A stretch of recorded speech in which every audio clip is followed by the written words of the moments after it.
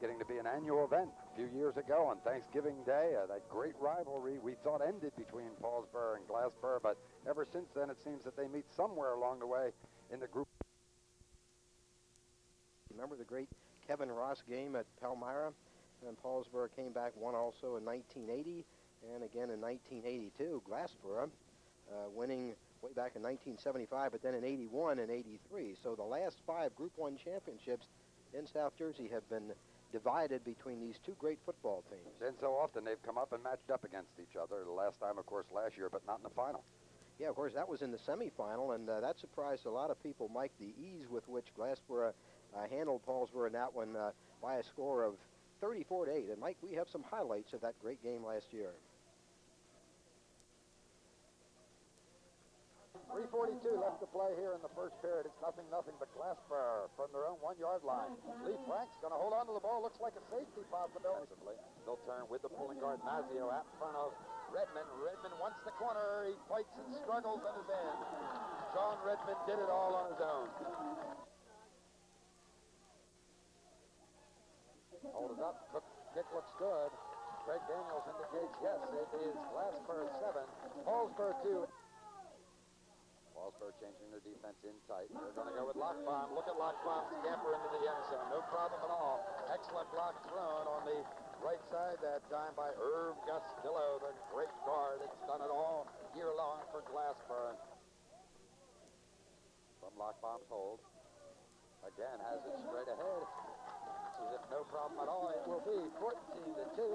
Glassboro now on top and things have turned around. Second down, 14 yards to go for the touchdown. This time he'll put Lockbaum in the slot on the left side along with Jimmy Lester. They'll go on a draw to Redmond. Redmond smells end zone, gets a block from Lockbaum at the four-yard line, and Redmond's in for the score. Frank looking for the extra point. Again, has it up and long enough and true. It'll be good. So with 4-11 left to play in the third period, Glassboro 21, Paulsboro 2. Touchdown here as we start the fourth quarter of action. Pass on the halfback option from Redmond to Lockbaum, and Glassboro strikes here as we start fourth period action. That only took them five seconds. Lee Frank looking to add the points. A high snap, but he gets it away. Quick foot there. And good, so Glassboro 28, Paulsboro 2, 11.55 to play. There's the starters, huh? Yeah, there's Lockbaum, 16, Redmond 22.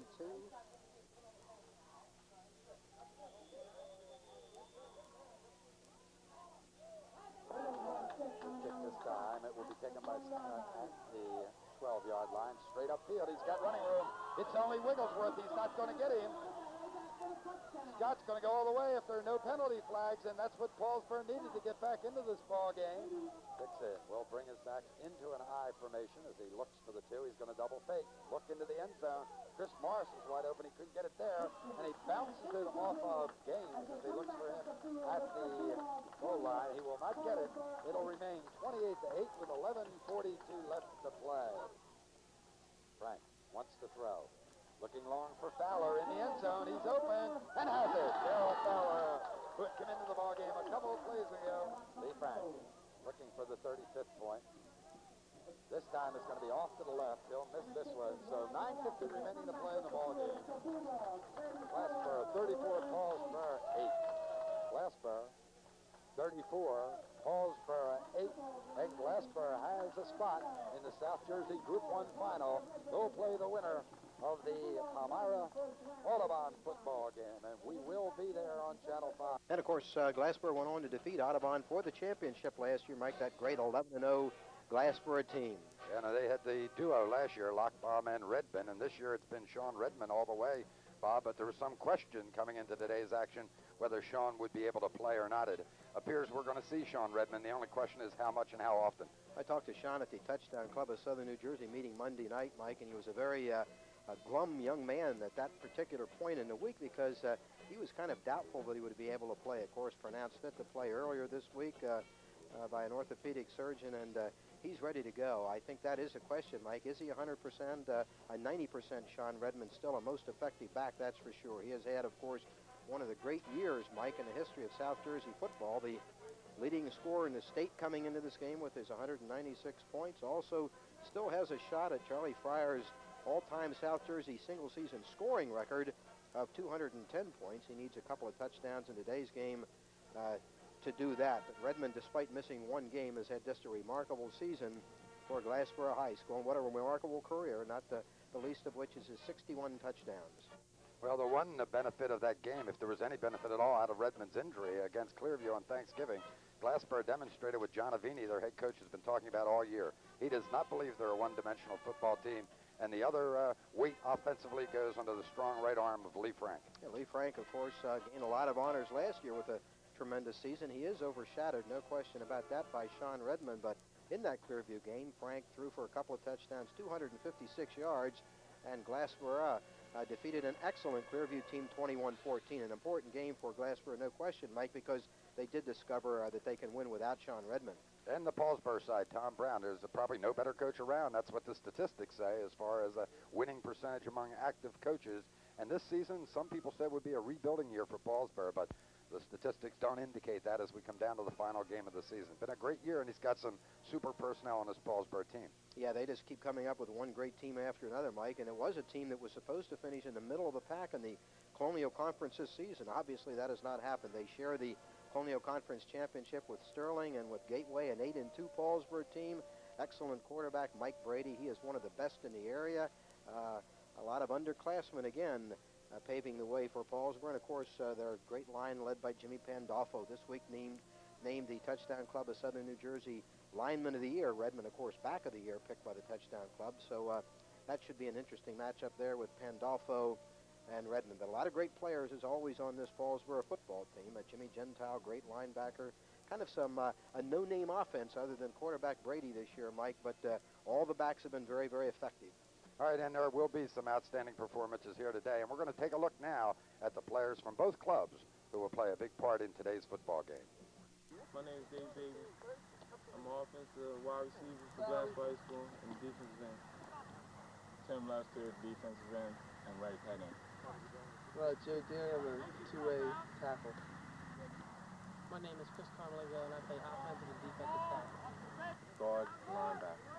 My name is Glenn Esker. I play offensive end and defensive uh, outside linebacker. My name is Woody Griscom. I play offensive left end.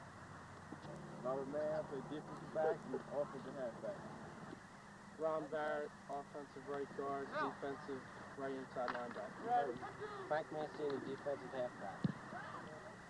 Benjamin Creedell, fullback and nose guard. Lee Frank, uh, quarterback.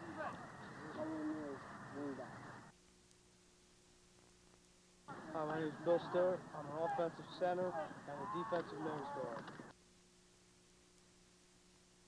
John Worthy, tailback. Mike Brown, tackle. Scott Campbell, player. Middle linebacker. Oh, Middle linebacker. Dan W. Now. My name's Lamar Briscoe, nose. I want red. Darren DeSantis, defensive end. Now, quarterback. Brady, safety. Hi, Dad. Fred Wilson, tackle. Aaron Plant, quarterback. With the backs. My name is Steve Costco. Albie Quarles, defensive back. Secretary of Defense, beware. Never first. Split it. Jim offensive guard, defensive tackle. Offensive guard, defensive tackle. Michael Brady, quarterback. Those are players we're going to be looking at today, and of course we also had a chance to see two fine coaches, John Aveni and Tom Brown. You match those two up, it's got to be a great football game. Well, you already mentioned Brown's record, Mike, and he is the uh, currently the number one coach in South Jersey in terms of career one-loss percentage. Uh, just a, a tremendous record for the Glassboro State graduate who went to Triton Regional High School. Tom with another outstanding team. A lot of people didn't expect it, and of course, John Aveni. Uh, the 70 wins, 30 losses in his fine career coming into this one. We talked about the three uh, group titles to match Tom Brown's. John Aveni, former professional place kicker with the Chicago Bears, Washington Redskins, Indiana University graduate, and uh, these are two close friends who also are two outstanding coaches. So the, the matchups continue, Mike. We could have one of the fine games in recent South Jersey history. All right, top players, top coaches. The South Jersey Group 1 Finals. Paulsboro and Glassboro will be back with all the game action right after these messages. Hello, Captain. How are you? The Bulldogs and the Red Raiders from Paulsboro High School. Let's go right now to the midfield with John Lesko, today's referee, and the coin, coin toss. My name is Mr. Lesko. I'm your referee today. We have Mr. Romanek as your umpire, Mr. Peterbach, head linesman, Mr. Cervo, field judge, Mr. McGovern is the back judge. Mr. Bisbing is in the press box. He is an official. He has the official clock. On the chain crew, we have Mr. Gessinger, Mr. Concanon, and Mr. Decker. Okay, Glassboro, you are the visitor. Who's going to call the toss? Give me a head or a tail while it's in the air. If I drop it, we'll do it again. He called heads.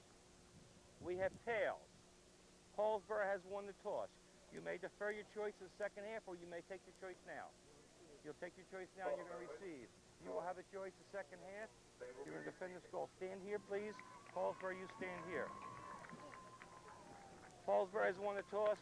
Shall receive. Fellas, shake hands, have fun. We're here to help you. You help us. Thank you.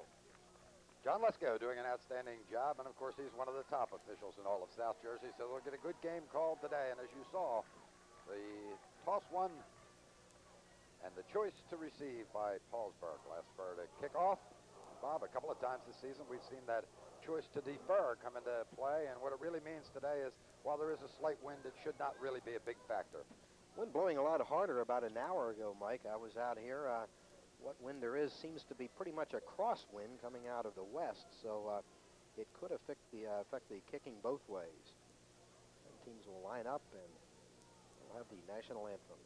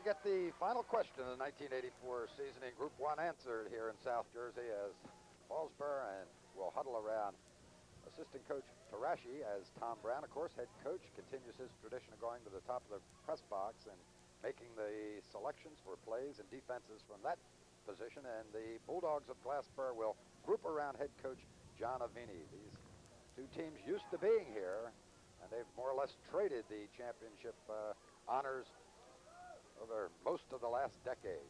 Everything points to an outstanding game today. A couple of questions whether Mike Brady, the fine quarterback from Paulsboro, will demonstrate what everybody at this end of the county has been saying that he's as good as any quarterback around and one of the tops, if not the top, in the Colonial Conference. And the big question for Glassboro might be just how ready Sean Redmond is in his final high school football game. The call of today's game, Bob Shryock. And a gorgeous day it is, Mike. It culminates, uh, I think, the best fall I can ever remember for weather for high school football, Mike. We just, uh, we haven't really had a bad weekend yet. We went through the entire season without rain on Saturday, and that's the first time since we've been covering sports in five years at Star Communication. And boy, it's always been a highlight of our coverage of high school sports to have Glassboro and Paulsboro, and I'm looking forward to this one. Wigglesworth kicking off for Glassboro, deep for Paulsboro, Merchant and Albie Quarles. High deep kick by Wigglesworth. Quarles will take it at the 15-yard line. Has some room. One man to beat. And he doesn't beat him. A great play made in the open field by Timmy Lester. They keep him back there for just that kind of situation, Mike. And Lester saved a touchdown, but a great return by Quarles gives Paulsboro excellent field position at the 41 of Glassboro. And look at those weather conditions. 57 degrees. Winds out of the southwest at 10 to 15 miles an hour. Mostly sunny. John Mondelli doing his homework again. What a return. And uh, Paulsboro in great shape with Mike Brady running the attack. Muse and Worthy behind him. And the second back through. Big hole for Worthy. He gets down inside the 35 to the 34. And that kickoff return by Quarles, Mike, has really brought Paulsboro to life early. Well, you saw championship play on that kickoff. Of course, you saw the Paulsboro team that all week long in practice knew that every play would be a key one, and as a result, when they practiced special team play, they really emphasized it, and that gave the opening. And the Glassboro side, Lester did his job by playing safety all the way. Had he been over exuberant, they might have been in trouble. Six-yard gain. Big hole for Muse. He has a first down and holds along with him Frank Mancini. So Paulsboro with the first first down of the football game. They're in great shape at the Glassboro 25-yard line. And what we are used to seeing out of Tom Brown football team, straight fundamental football. That's been the key in the first two plays. You'll see it here, just a double team back to the inside, and then leaving the end by himself, and the run goes to the inside as they knew the end had outside responsibility. First and 10, first first down in the football game. Worthy with a pretty good hole over the left side, shuts down in a hurry, however. Worthy gained a couple of yards to, call it the 22-yard line. Three-yard pickup, second down and seven. Just underway, 10.35 to play in the first period, but the Red Raiders of Paulsboro threatening. Well, Paulsboro, of course, as you know, is an option football team, but they don't show it that frequently. Uh, Brady, very, very good at reading keys, and they lull you to sleep with that inside uh, work that we've seen in the first three plays, then go outside. There it is. Quick pitch to Muse to the outside. And the play turned back in nicely by Barry Lewis, or that could have been a bigger gainer, but good pickup nonetheless, nonetheless by Muse. What happens on that option, there's around three different points at which the quarterback has to make his judgment. At that time, they closed down quickly on Brady, who on the reverse pivot had made the fake inside on the dive. As soon as he saw that end coming to him, he got rid of the ball quickly, and they came very close to getting enough for the first down yardage. But you need the key. Quarterback uh, has to be bright, has to be able to read keys, and Brady's one of the best at that. Second and two from the 17. Merchant split to the right. Second man through. Muse gets the ball, has the first down. Still on his feet. Oh, play called dead, but a good run by Muse. The Paulsboro backs Worthy and Muse having an excellent first drive. A lot of responsibility on the front five for Glassboro defensively, Bob. Bateman, Donovan, Stewart, Delia, and Lester. They've got great size and tremendous experience. Everybody but Lester is senior, and Lester plays like a senior. But the responsibility today, I think, going to go to Mark Geip and Ron Barrett, the two inside linebackers, who're going to have to really react quickly. First and 10 again from the 12-yard line. Muse this time going nowhere. Left side of the Glassboro line doing its job as Bill Stewart, big 245-pound senior tackle right there. No gain on the play. And they've got an injury out on the field, and that'll be a key player. Ron Barrett, number 66, the sophomore who broke into the starting lineup. Uh, they really need him at the linebacking spot. He looks like he'll be all right as he got a good shot. He'll go off quickly on the far side, but pretty tough to break into the starting lineup as a sophomore at Glassboro High School, and he's done a fine job. And of course, he's the son of the athletic director, Bob Barrett. Little loss on the play. It'll be second down about 10 and a half for the Raiders. Brady back to throw, rolling to his right. Almost intercepted. Great penetration that time by Geideman and by Stewart. Hey, you get those two big young men coming at you. Brian Donovan, 6'1", 225-pound senior, and Bill Stewart, 5'11", 245-pound senior. And Brady, who looks to the sideline now, waits for the play. It really going to be hurried today. They've got great size and experience up front, and a lot of observers, Bob, thought that might be the difference in this ball game because they outweigh the Paulsboro offensive line, and they've got a couple of sophomores playing for Paulsboro on the offensive line. Donovan, of course, uh, was doubtful for this game. He's come along nicely. Third and 10. Brady rolling to his right. Pitches to Worthy, who has some room. Looking for the end zone. He's in. Diving in from the two. Great block. Spring Worthy for a 12-yard touchdown run with 8.41 to play in the first period.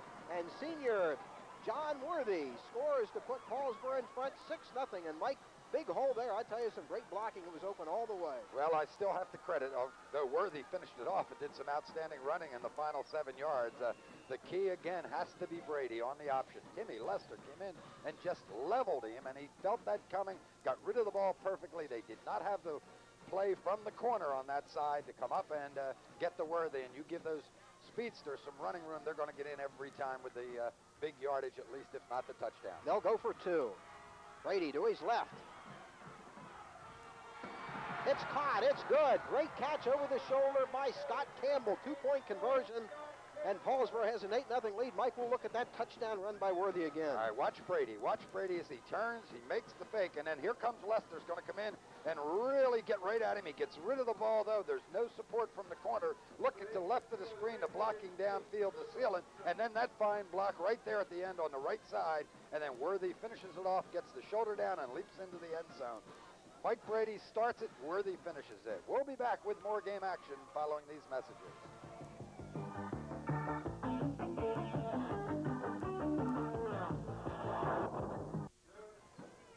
Mike Linder and Bob Shryock back at Paulsboro, where Paulsboro has stunned Glassboro with an early touchdown just 3 minutes and 19 seconds into the football game. 12-yard touchdown run by Worthy, two-point conversion pass to Campbell, 8-0 Paulsboro, and the kickoff by Pete Grant. He'll be kicking deep to either Barry Lewis or to Robert Mann. So Glassboro about to have its first possession. Paulsboro crowd on its feet, loving it. Mann takes it at his 10-yard line, straight up the field. No one back uh, like Quarles for Paulsboro that set up the touchdown as Mann is dropped inside his own 30 at the 29-yard line. And now we'll see this Bonnet Glassboro offense led by quarterback Lee Frank and the great senior back Sean Redmond, leading scorer in the state of New Jersey. Glassboro has to be somewhat stunned at with the ease with which Paulsboro went down that field. They're going to have to answer it, Bob, right here. Get some yardage, hold on to the football for a while. Now in the backfield with Redmond, who carries on the first play. Redmond trying to get to the outside, dies for a couple of yards as the play was turned back in. And Redmond on his first carry, no indication there, Mike, that uh, he's having any problem. Now, the real question when you have that knee is your ability to cut, and that, of course, has been the forte of Sean Redmond. He comes up to a hole, and he's one of those great backs that looks and finds the hole. He doesn't go where it's diagrammed if it moves, but you've got to be able to have that stop and start movement. And sometimes the knee keeps you from being able to do that. Four-yard gainer. A reverse.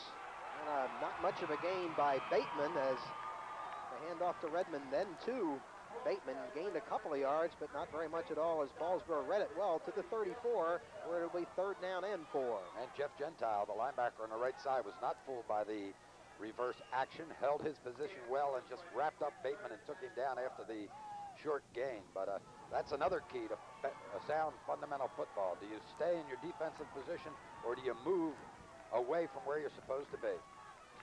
Redmond with the carry. He's not going to get the first down, and that brings the Paulsboro crowd to its feet. So Glassboro denied by a very tough Paulsboro defense on its first possession and that'll force the first punt of the football game. The early going, Mike, all Paulsboro. They seem to be the most excited of the two clubs. Glassboro, John Aveni always likes to keep things somewhat low-key. They say, let's just be consistent in our football play. Let's not have ups and downs. But Paulsboro, with a tremendous athletic tradition, seems to get up for the big games. Lee Frank, excellent punter, will kick it for Glassboro. Gets a good snap to either Merchant or Quarles. Low kick that miscommunication between Carls and uh, Quarles and Merchant, and that'll be an excellent Glassboro punt all the way down to the 15-yard line. Well, that's a freshman out there, Emmett Merchant, and uh, as Quarles looked at it, it looked as if it was going to bounce right to him, and then as it hit the turf, it went in the other direction, and Merchant had already given up on it and decided that Albie would be running the ball, and he let it go, and uh, that makes the kicking of Frank so important in this ball game, and he got a real good one now. Paulsboro has a long way to go. 6.30 to play, first period. Paulsboro 8, Glassboro nothing. Paulsboro with its second possession. They'll split the great freshman Emmett Merchant, nicknamed Speed by our Mike Linder, to the right. Big hole again for Muse. Those holes really opening inside as the Paulsboro line, Mike, is opening some gaping holes. Uh, doing a good job on those huge Glassboro alignment. Well, Barrett, really, the linebacker, remember, was injured somewhat on the first series uh, defensively. Really got blown away on that block. Straight ahead blocking. Good job being done by Bowen, Pandolfo, Cockrell, Schultz, and Wilson, the interior five from that offensive line for Paulsboro. They're doing nothing fancy with the blocking pattern so far. Eight-yard gain, second and two. Second back through Muse. He'll be close to the first down. And Worthy having a big first quarter. Another first down for Paulsboro. They have had four first downs already midway through the first period, Glassboro has had none. What you like about this kind of football, fundamental football, is it's all straight ahead. It comes down to man to man. They haven't doing much X blocking or double teaming, and it comes down to, hey, I'm coming right at you. Let's see if you can beat me. So far, Paulsboro's uh, been the winner in that contest. First and 10 from the 25. Worthy, big hole. Tries to get to the outside, still on his feet, finally dragged down on a saving tackle by Bateman, but I'll tell you something, Mike, that Paulsboro offensive line really doing the job, and Muse and Worthy hitting the holes in a hurry. This advance 16 yards to the 41. Another Paulsboro first down. Look Hey, at it again, Mike. This is the way it's diagrammed in the playbook. We'll just make the first fake, freeze the linebacker, then we'll go with straight ahead blocking and let the back get into the secondary and let him do it all on his own. And Worthy finished it up beautifully. Back to live action. Five first downs for Paulsboro. Muse. Not much doing this time as the middle of that big Glassboro line uh, does the job. Tacklers led in there by Ben Cradell. You know, Donovan Stewart and Delia, the middle three, Bob, may be just overcharging on this. And what they have to do is really hit straight up, control their blocker, and then shuck them off away from the play and get into the hole. Instead, they're trying to blow through. And the good speed of Paulsboro, they're by them before they can re- react back. Second down and eight. And now the Glassboro defense beginning to do its job as Worthy is stopped for a no game. Cradell again, uh, again with part of the tackle. Also in on the tackle is Carmelingo. And gain of a maybe a half a yard. It'll be third down and eight. A passing down coming up for Mike Brady. Well, we know who's out there. Number 12, Merchant. Well, they have Quarles in the ball game now also. Let's see if he's the split man. And Brady looked good on the two-point conversion and was pressured the other time uh, that he tried to get back and throw. Third and eight. Brady with the pitch to Worthy. Penalty flag down as a great defensive play is made by Brian Donovan, showing that great lateral movement for a big man. But the first penalty flag of the game, and Worthy is down, may be slightly injured on the play. Now he's up. The other time uh, in the option plays that they've run where they've gotten the big yardage, Bob, they haven't gotten the play defensively from the corners at Glassboro. that's what's made the opening. This time, number I 27, need a captain, please. Glenn Esker came up and made the play. We'll listen to the choice here after we watch this play. Here comes Esker, 27. He forces the play back to the inside, which lets Donovan make the tackle. Okay, we'll go back 15. It'll still be third down. If he refuses the penalty, we'll have fourth down.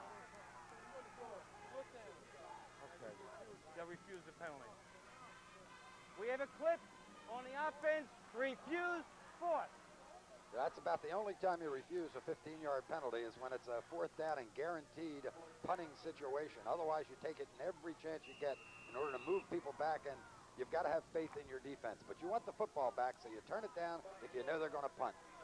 Mike Bowen, the kicker for Paulsboro. Lone safety, Robert Mann for Glassboro back at about his own 30-yard line. Bowen with a good high spiraling kick driving Mann back over his shoulder to 21 with a fair catch. Excellent kick by Bowen and Glassboro, which moved nowhere in his first possession, has another chance with 3.44 to play first period and Paulsboro leading 8-0. First time Glassboro had the ball, as you point out, didn't do much. Redmond with a couple of opportunities, Bateman on the reverse, and uh, it just seems to me that they're going to have to loosen Paulsboro up and use the arm of Lee Frank a couple of situations early, try and hold the linebackers, keep them from reacting as quickly as they did on the first series. He has a couple of great receivers in Lester and Bateman. Redmond the lone setback. Draw play to Redmond. It closes in a hurry, gets some yardage. Jeff Gentile there with part of the tackle. He's had a great season. Bowen also in on the stop for Paulsboro. Gain of about four for Redmond. Saw those stats on Redmond. Uh, for everybody, I think in South Jersey knows that story, and everybody really had their fingers crossed coming into this game that Sean would be okay and uh, have a chance to play. Not so much to play, but just the fact that his career would be able to continue, would not have a career-ending injury. He got four, second down and six. Redmond again, they're running him a lot, has some room. He'll be short of the first down, so four carries already for Redmond. Bowen again, part of the tackle. He's had a bunch of tackles here early. Gentile there again, so Redmond uh, takes it within about a yard and a half of a first down. They have to get to the 31. It'll be third down and call it one, so Redmond with 14 yards so far on four carries. That was a short trap with Mark Kite, the left guard, pulling, going to the right, Redmond going inside of him. why not go with your all South jersey back when you need a yard? Redmond with the first first down of the football game for Glassboro. The advance to the 35-yard line, and now the Glassboro offense beginning, beginning to get in gear. When you have a good defensive team like Paulsboro, reads keys well, plays position football, plays what is expected, and uh, uh, gives you almost an anticipation. I think you throw on first down. Last time first down, they showed pass but went with the draw. This time they will throw. To Redmond, coming out of the backfield, still on his feet, dragged down by number 34, Aaron Blanding, but a good play for Glassboro gets them their second consecutive first down. That's exactly what we were pointing out. We uh, think you must do this on a first down situation. You can't wait till guaranteed block. Now here comes Redmond after the fake. He'll turn, come across the flat. He's open as the corner drop deep, Blanding number 34, and Aaron has to come back now to make the tackle. Redmond with the carry, getting to the outside, has some room.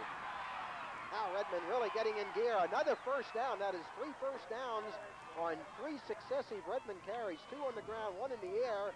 And Mike, it looks like the Glassboro offense now really underway as Redmond gets into the 39 with a 13-yard pickup. Every team that comes up against Glassboro really has a number one defensive uh, objective, Bob, and that's to keep Redmond from the outside, keep everything contained in the middle. And you can see exactly why on that last play. Redmond gets to the corner. He has the great explosive speed. He's got 32 yards already. First and 10. Glassboro with three successive first downs. And they're throwing on first down again. Right over the middle, wide open. Great catch by Bateman. Good throw by Franken. That is four first downs for Glassboro on the last four plays.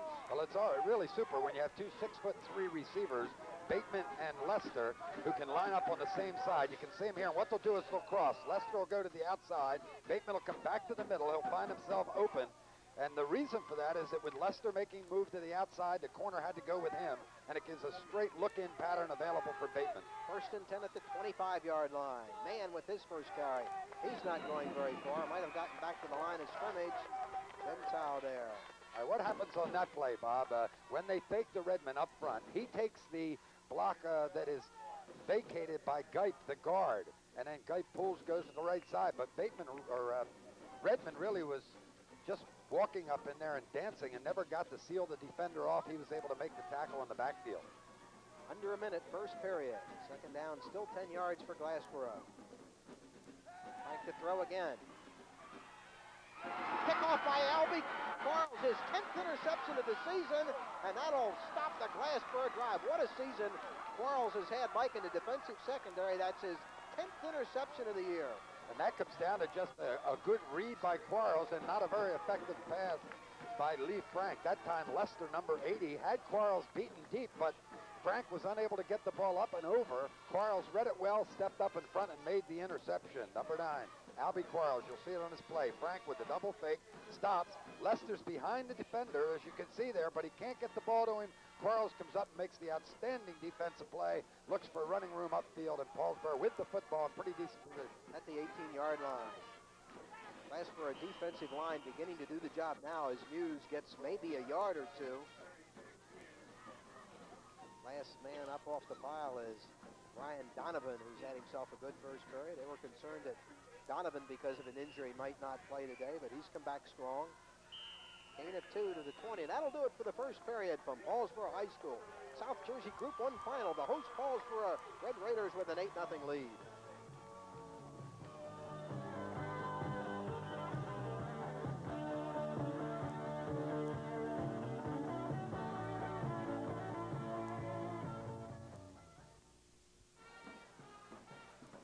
Second quarter action, South Jersey Group 1 finals, and Paulsboro really dominated most of the first period. They got the one touchdown and the two-point conversion. It's 8 to nothing. Mike Linder along with Bob Shryock for Stir Communications. South Jersey Group 1 finals and a super game so far, Bob. Excellent, excellent high school football. So after the Quarles interception, Paulsboro with its third possession. Muse has some room.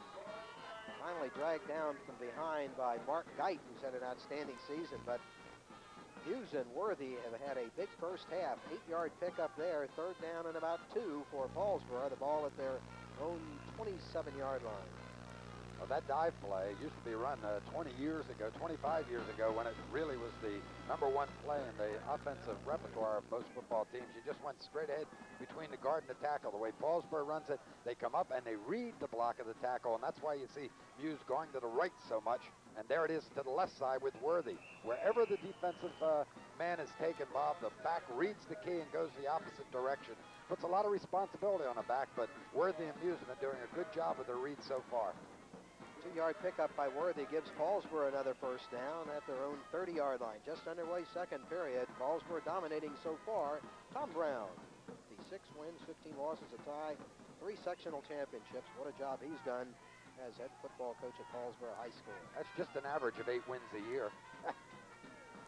Second man through Muse. Good room again, dragging with him Timmy Lester. And I tell you, Mike, that uh, Paulsboro offensive line and the faking of Brady, uh, significant keys in the early going. Well, you know, the most important thing on an offensive line, uh, besides knowing who to block and when to block, is, of course, to know exactly when to get off that uh, line, and they just come together as a unit with a quick charge. Six-yard gain makes it second down and four for Paulsboro, which has really controlled the football. Brady keeps it. Great faking, has some room. Runs right over Mancini, still on his feet, still on his feet. What a run by Brady, electrifying the Paulsboro crowd. Mike, that was a great run, but what a fake by Brady to spring himself. One question we said before the game was whether or not Mike Brady would demonstrate to everybody in this championship contest whether or not he was the premier quarterback in the Gloucester County area and maybe the top in the whole Colonial Conference. And you see a play like that, there's no question about it. The faking and the reading of the key, and you'll watch Brady here as he does it. Comes down the line. Worthy makes the fake inside. Now the end, the corner goes up to take Muse. As a result, Brady tucks the ball in and goes downfield. That's what we mean about reading a key. Look for the corner action. If he's coming to you, get rid of it. And there, again, we watch as uh, uh, they were unable to make the tackle there. Brady reads it again, says, I want more. I'm not going to be satisfied with what I got so far. The freshman Lewis, number 36, can't get to him. And now look at Muse, still downfield, looking to throw a block, Bob, and that's another key. Don't give up after your first responsibility. Get down there and help out. Great run by Brady, tremendous execution by the whole Paulsboro football team. I don't think I've seen a quarterback in recent years read that key the way Brady does, Mike. And I tell you, you don't see a quarterback make a run like that very often either. That was a tremendous bit of running. Broke three or four tackles, and Brady has Paulsboro in excellent position again at the Glassboro 29. And uh, you kind of indicated before, Mike, I agree with you. Paulsboro, for some reason, looks a little more up for this football game than does Glassboro. I think it reflects the personalities of the uh, coaching staffs. I said that don't put Glassboro down for it. They try and stay even and consistent in every game. Maybe today you had to be up. You had to be more enthused. Washington from the 29, Muse drags along with him Bill Stewart after uh, Stewart hit him at the line of scrimmage. Pretty good gain by Muse. Gets Paulsboro down about the 26-yard line. I'll give credit to Stewart on that play, of course, and Bill Stewart has had a tremendous career at Glassboro High School, Bob. But I think it also points out we should indicate that Steve Cockrell, the center, number 50 for Paulsboro, just a 160-pound sophomore. What a job for him today. He's part of that no-name up-front team. They go the opposite way. Worthy in the clear again. He is finally tackled by Esker, but another first down carry by Worthy, and uh, the less heralded Worthy and Muse really are overshadowing the efforts of Redmond here in the first half. Well, they get all the credit, they get the ink, but he's going to have to thank Freddie Wilson, number 78 that time, the left tackle, for an outstanding block. Wilson, a senior, 6 foot, 190 pounds. He's got the 230-pound Delia playing over him. Well, they've changed it now in the ball game, uh, Carmalingo, and he's really handling Carmalingo. First and goal from the eight. Worthy big hole down near the goal line. He'll be down close to about the one-yard line, but that play's been open all day long, and Worthy hits the hole again. Well, again, Wilson, just too much of a strong force there for Carmalingo. Number 70, he's getting, they standing him up, and then they're moving him in either direction that they feel he can go, and then uh, the blocks are being read so beautifully by the, the backs, but Carmalingo in there getting a lot of action in place of Delia. It's a surprise to us and uh, just hasn't been able to hold up. Brady, touchdown! So Mike Brady, who set up the touchdown with a great run on an option play, scores from one yard out, and with 8.57 to play in the first half, Paulsboro has dominated Glassboro and leads it 14-0. What what a what a surprise so far, Mike. Not so much that they're leading, but the ease with which they're dominating this football game so far. Yeah, nothing wrong with an 82-yard drive. That's a, a series that started at their own 18-yard line, and they just took it down with straight fundamental football. The big play, the Brady run on the option. They'll go for two again. Brady to his right. Pitches to Worthy. Worthy in. Not even touched, and it's 16 nothing. Paulsboro doing absolutely everything right. Take a look at it again. Up the line of scrimmage here. And watch the block at the left guard position, and that's where Brady tucks it in and goes in for the one-yard uh, touchdown on the quarterback sneak, and that's going to make uh, Paulsboro fans and players and coaching staff very, very happy. 16 to nothing. We'll be back with more following these words. 16 to nothing. 8:57 left to go in the half. Glassboro about to get the football. Bob, I sense that Glassboro's got to strike and strike quickly. A left-footed kicker, Brandt, kicking deep. Lewis, the freshman, fumbles the football, and that'll be a touchback. It'll come out to the 20. The rule there, of course, is momentum of the football as opposed to the projection by the runner, the receiver on that kick. If the ball is ruled by the official to go on its own momentum into the end zone, it's an automatic touch back as soon as it gets there in high school football and will come out to the 20. Oh, great challenge facing Glassboro now. Glassboro winning Classic Division of the Tri-County Conference in its first season in the Tri-County. Paulsboro with a share of the Colonial. Uh, Glassboro with only five losses out of its last 40 football games. A lot of pressure on the Bulldogs now. First and 10 from its own 20-yard line. Glassboro starting this possession. Redmond running hard, but knocked down after a gain of only a couple of yards. Pandolfo, yep. yep. He's about to pick up some postseason honors. That young man has really held this football team together, been a great leader down here. Pandolfo, a super name in Paulsboro sports history, and the latest entry in that family, number 65, Jim Pandolfo, 5'8", 175-pound senior. Well, of course, he's being honored this coming Tuesday night, Mike, at the Touchdown Club of Southern New Jersey final banquet at the Woodbury Country Club. Uh, he'll be honored as Lineman of the Year. Sean Redmond will be there to be honored as back of the year, and we'll also honor the coach of the year that night. There's Pandolfo, number 65, and Pete Lamani uh, great feels great that, presentation, uh, huh? Yeah, feels that uh, without Pandolfo, Paulsboro would even be here today, Mike. He thinks that much of that young man. Sports Week with John Mondelli. We don't want to watch that show this week, do we?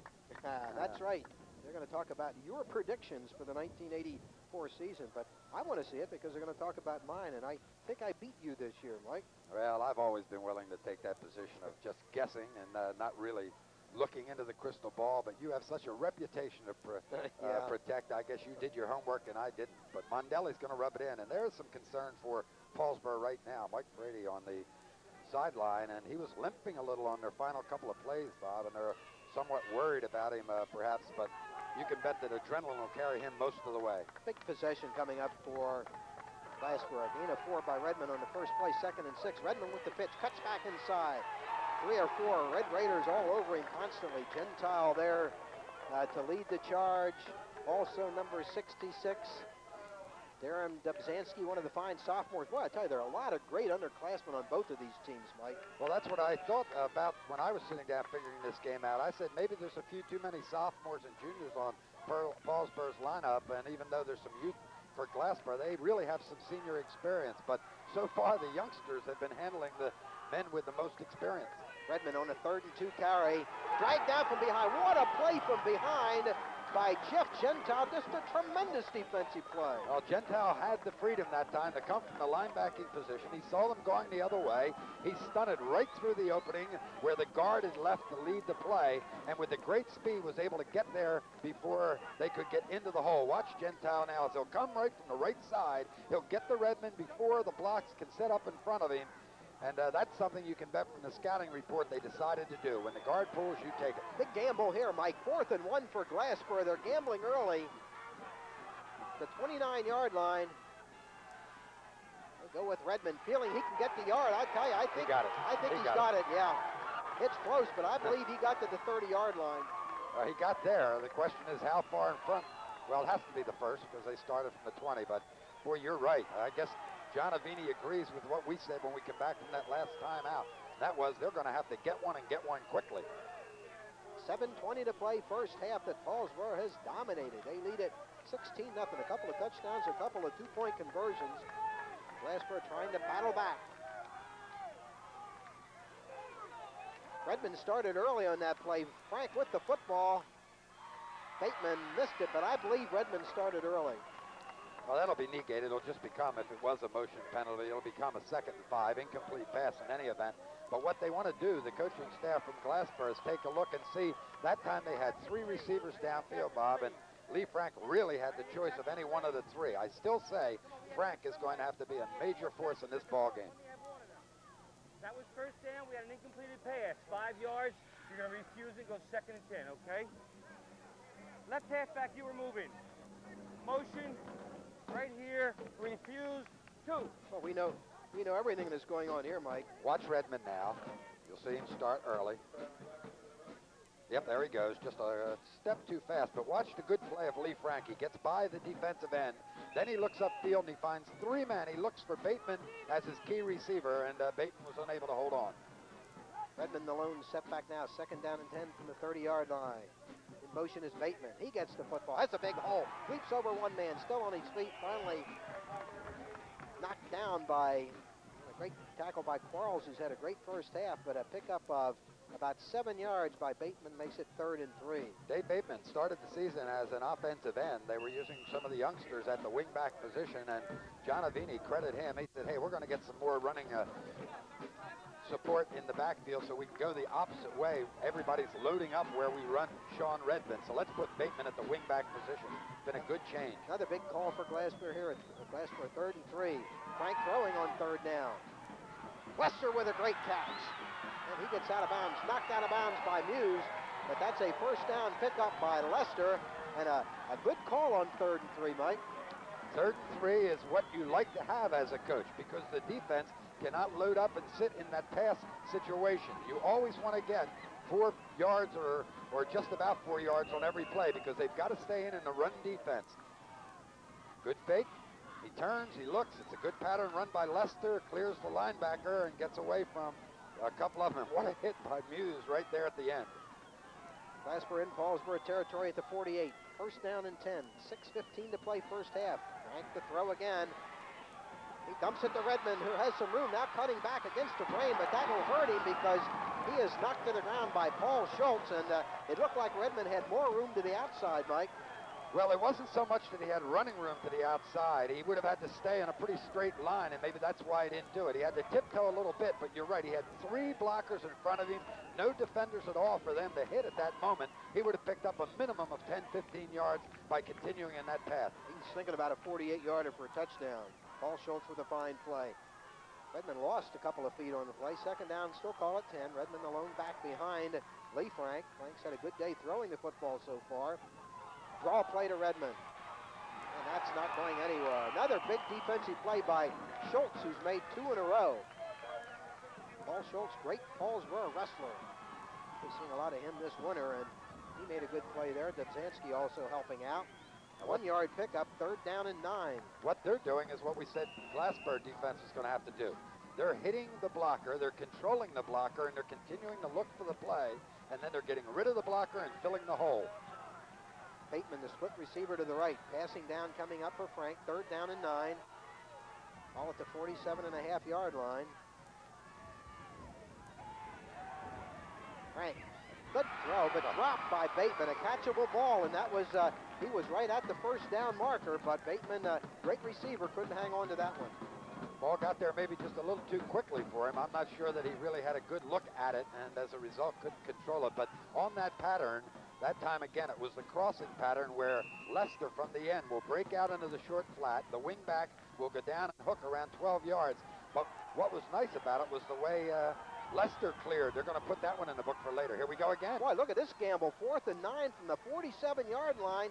Frank over the middle to Bateman. No. No, he's not going to make it. Quarles with another big play, and Paulsboro will take over the football and excellent field position at their own 40. How about that gamble?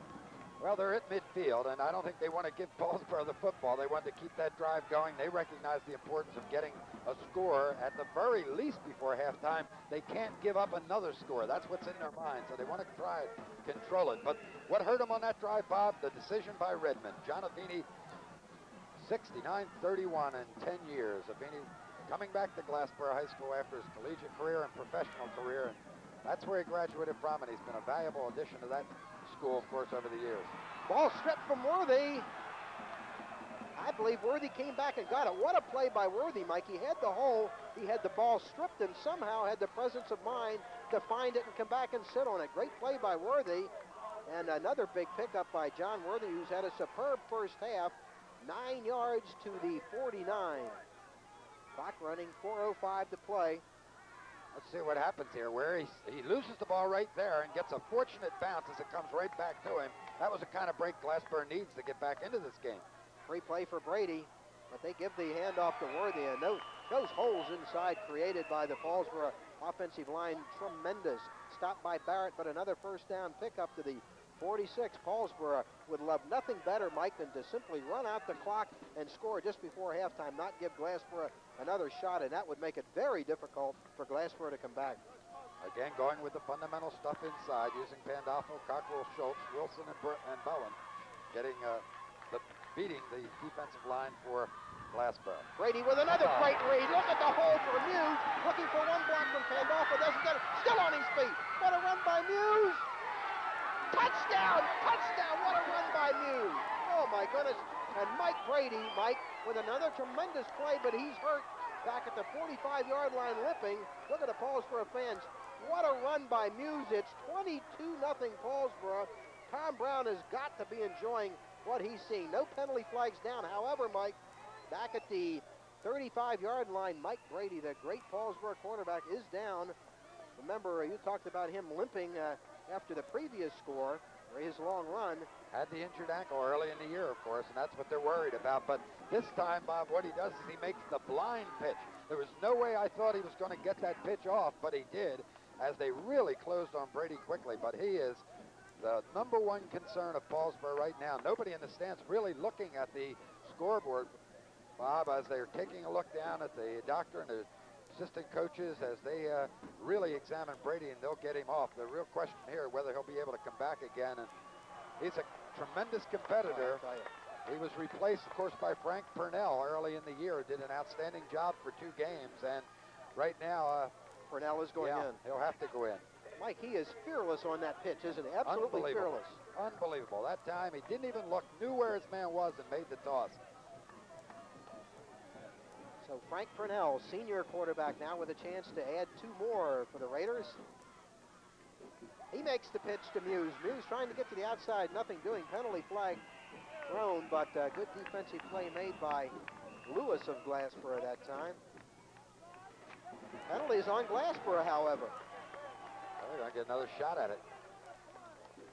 I tell you, you can't say enough good things about Mike Brady on that option play. He runs it absolutely flawlessly. No good. We have a personal foul on the defense.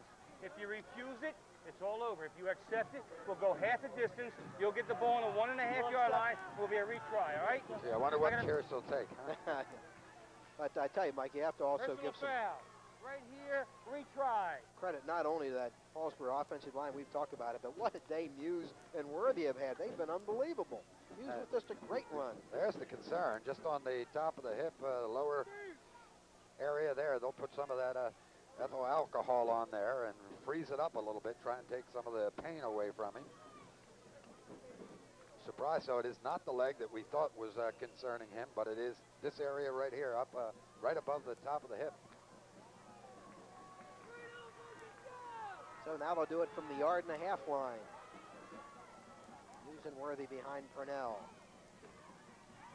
Purnell will be stopped short of the goal line. He obviously is a little bit rusty and understandably going in there. Mike will look at that incredible touchdown run by Muse and the pitch from Brady. Again, watch how quickly the defense this time. Lester closes on Brady. There's a tackle coming also, and it's just a blind pitch to Muse. Just beautifully run. Outstanding execution, and now downfield, credit Pandolfo, who's out there in front, and also Muse, who waits for the block, sees where it goes, allows him to cut back inside, and then just says, come on, where do you want to go? Where do you want to go? I'm going to go the other way, makes the move to the outside. That's the angle he had, and then just finds the end zone and in over the marker has the touchdown. So you saw tremendous read by the quarterback and an outstanding uh, downfield block by the lineman and an, a super run by the back. And great camera work by the Channel 5 crew, Mike. They're doing a job today, too. What a game that young man has played so far. He has one of the touchdowns and has set up one, this quarterback brilliantly. Boy, 22 nothing for Paulsboro. 3.25 to play in the half, and Brant to kick it off again. Paulsboro needs a big play. They've got Redmond in there, Mike. That's how important uh, uh, they think it is now for them to create something. Mann with the carry, trying to get to the outside. Gets one block from Redmond, but goes down at about the 24-yard line. And these are probably, Mike, the most important 3 minutes and 18 seconds in the Glassboro season right here because they have to get a touchdown. The important thing for Glassboro now, particularly with the responsibility on Lee Frank's shoulders, is he's got to know, look, if we do try and get it, if we try and get a score, we're going to have to probably do it in the air. I have to make sure that anything I throw, the receiver is dead open. I cannot afford to throw in the coverage. An interception here would just kill us and close the door. They're going to keep it on the ground first play. Redmond with a pretty good hold runs into Lamont Briscoe. Redmond has not had a bad first half. He has had some yards, but they've kept him out of the end zone. That's the most important thing so far for Paulsboro. That last drive, uh, what, 59 yards. So they've got a 59er. They've got an 82-yard drive. They are really controlling the football, Paulsboro. Six-yard gain by Redmond. Second down and four. Clock running. 2.35 left in the half. There's a reverse again with Bateman. That play has run well all season long. He gets the first down still on his feet, and a penalty flag thrown as Blanding climbs on Bateman's back to finally bring him down. The flag was thrown so late, nobody out there by Bateman. I've got to believe it's got to be a face mask, and they're going to pick up 15 more yards. You're right, it is a face mask. So that's a big call for Glassboro. They need something good to happen to their cause. We have a personal foul, face mask by the defense. We're going to go 15 yards, all right? Okay, I'll give you a first down. That's the We'll way a referee should do it. We'll go from the end of the run. Now here's Bateman coming back inside, takes the handoff from Redmond, has the blocker out in front of him, Lester. Now the senior Bateman reads it well and says, all right, Blanding, you're not going to control me. Aaron Blanding, number 34. It's going to take Muse at least and Quarles also to help bring him down. There's the flag as they grab this face mask. Personal foul, face mask, defense first down. Asper at the 41-yard line. Plenty of time. Clock running. 2.20 to go in the half. Redmond. Blanding pushes him out of bounds. Great defensive play by Blanding. Gets some help on the corner over there from Gentile. I'll tell you right now, you don't like gadget plays in definite passing situations, and this is not a definite passing situation. But even down 22 to nothing, and maybe the secondary playing somewhat deep, I think at this point what I would use is that uh, pitch out pass where Redmond stops after he runs to the right and then throws downfield. Be a good situation for it. You don't want to do it on third down or fourth down or obvious pass situation, but uh, they just may be keying on Redmond so much that the Glassboro team could take advantage of it. And Redmond already has one touchdown pass from the halfback position this year. Paulsboro want, defensively wants to talk about this situation. Jerry Tarashi in the huddle. They're in the driver's seat, 22 nothing, but they want to deny this Glassboro touchdown and go to halftime with the three touchdown advantage. 2.05 to play. First half, all Paulsboro so far. You know, the Colonial Conference this year, Bob, was really uh, something as we take a look at our promo for Sounds, the latest music video, plus giveaways Sunday through Friday, 10.30 on Channel 5. But the Colonial Conference, the real question was, was it a great conference because it was so well balanced, or were the teams going back and forth because they weren't all that strong? And uh, pretty much answered, answered that charge positively for the Colonial when they went down and destroyed Pleasantville in the semifinal game, and now going against the best in the Tri-County Classic division, coming out so strongly. Second down and seven. It's to Redmond. Cutting back inside. Lowering his head. Gentile with the tackle. Quarles there. But a good run by Redmond. And Glassboro trying to get its offense unleashed for a late score. The Run by Redmond to the 30-yard line. First down and 10. They'll wind the clock. 157, 56 to go in the half. Glassboro, if it can score here, right back in the football game, but to go to the halftime break down 22 nothing to a team that plays defense as does Paulsboro would be very, very difficult. Redmond again. Good defensive play by Pandolfo.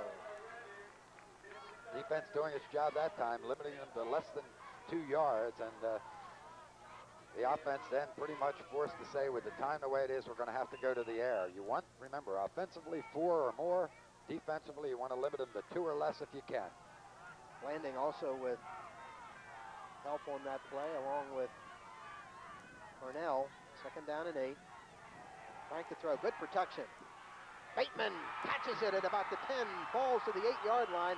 That's where that six-foot three frame comes in handy.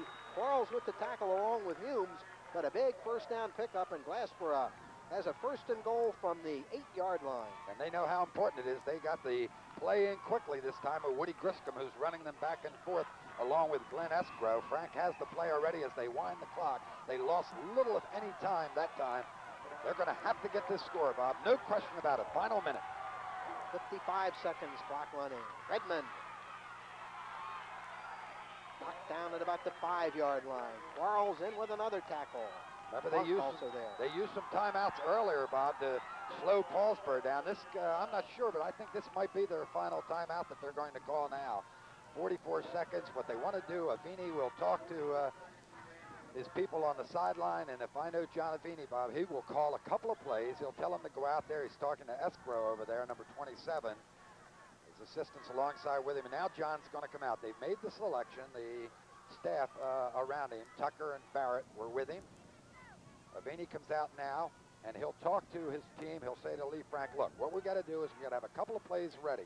44 seconds to go. Obviously, you know it's going to be Redmond, right? He's got to have a shot at it, and it'll instill in them the importance of how much they've got to score here. The final five yards separating them, I think, from almost being out of the ball game and really having a shot at it. And boy, they finally drew some people here. Some people didn't think with the uh, admission ticket price that they had to that the state has instilled they would get this many people, but a good turnout. They know how important this is. They're the Glassboro fans you're looking at over there.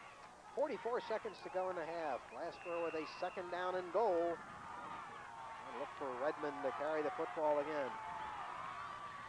Oh, reverse. Bateman gets down near the one. He's close. Gonna have to hurry now. 36 seconds, 35. Glassboro apparently out of timeouts. Bateman with the reverse carry to about the one-yard line, and uh, I'm sure they'll give the ball to Redmond here. 25 seconds, time for maybe two more plays if they don't score here. Redmond dives, is he in? Yes, he's in.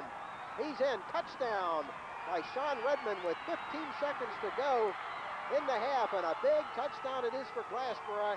It gets them right back in the football game at 22 to 6, and the Glassboro fans finally have something to cheer about. Paulsboro defense, everything they uh, had to do, they did. They stacked it up in there, and Redmond, just with that lean forward, was able to get back in. Now Glassboro apparently had one final timeout because they're going to take it here, and they're going to talk over how they're going to go for the uh, two-yard conversion. What's that give him? 200 points on the season?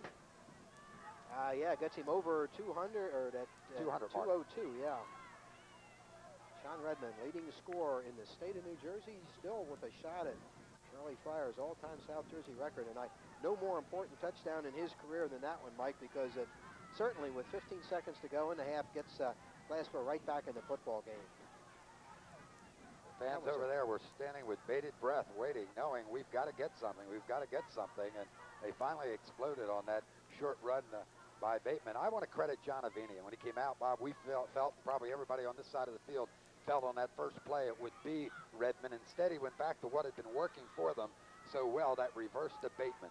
The Paulsboro team reacted, uh, moved to the left side to try and stop Redmond, and that left only one man to handle Bateman, who got him down to the one-yard line.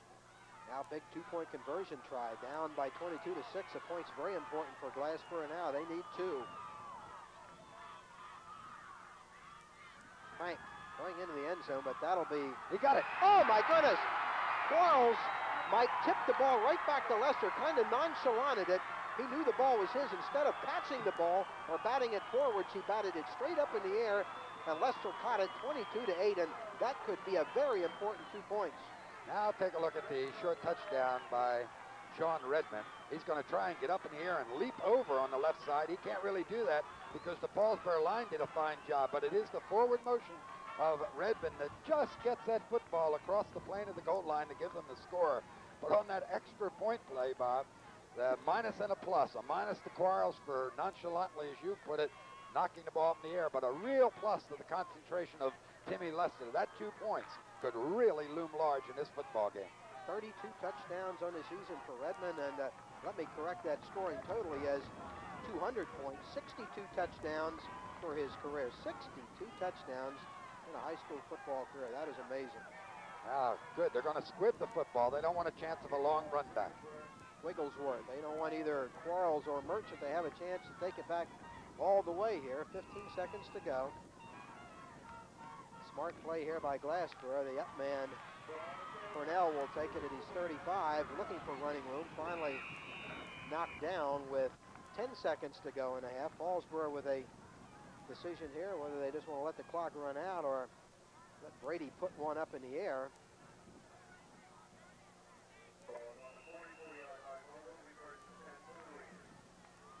And uh, Mike, Frank Purnell still in their quarterback, so that uh, creates a question uh, as to the health of the starter, Mike Brady. That'll do it for the first half. A great first half of high school football in the South Jersey championship game. Paulsboro 22 and Glassboro 8. We'll be back.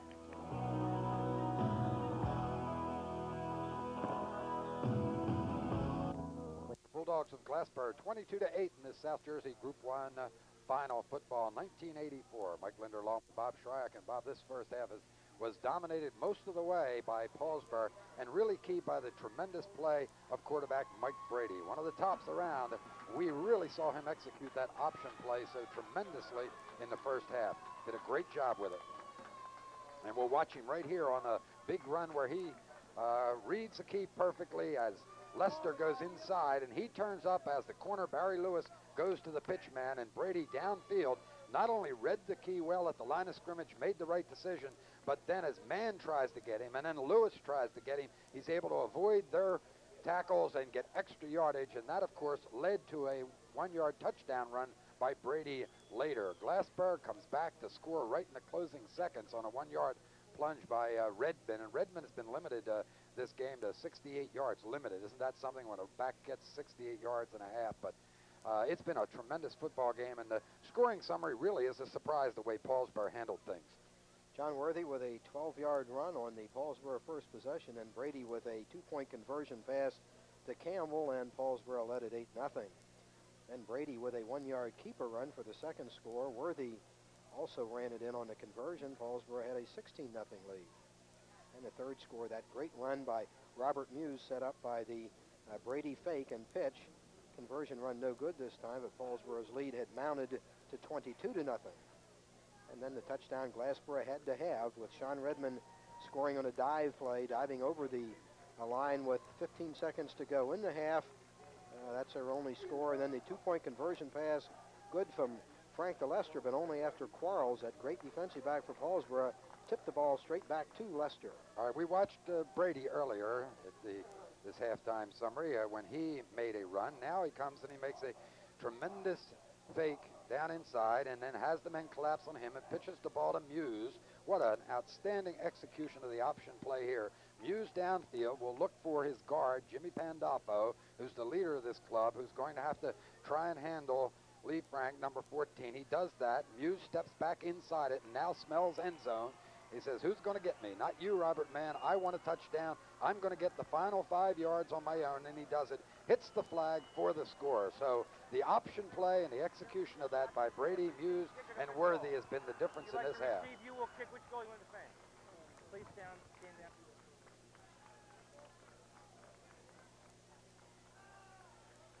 Well, Glassboro is going to get the football here to start the second half, Mike, and if they can take it down the field and score another touchdown, we have got ourselves a football game. Two big questions in the second half. We saw the injury to Mike Brady, the outstanding quarterback for Paulsboro. First question is, is Brady going to be able to play? The second one, we mentioned here that uh, Sean Redmond has 68 yards in the first half. He needs 100 and, uh, what's he need? 112, I believe, for 2,000 on his career. I say it comes down to can Brady play? Can Redmond get that 112 yards? That should be the difference in the ball game. Here's the stats for the first half. The teams are even with first downs, nine apiece. Passing has really been Lee Frank all the way. Paulsboro trying but one, and that was incomplete. But uh, uh, Frank is five for eight with one interception, 68 passing yards to none for Paulsboro. But look at this turnaround. Paulsboro, 212 rushing yards to but 94 for Glassboro. Total yards then, 212 to 162. The only turnover, the interception thrown by Lee Frank. 22 to 8, second half action. Wow, this is going to be a great final 24 minutes of regulation. Remember, the possibility exists in state playoffs that we could have an overtime.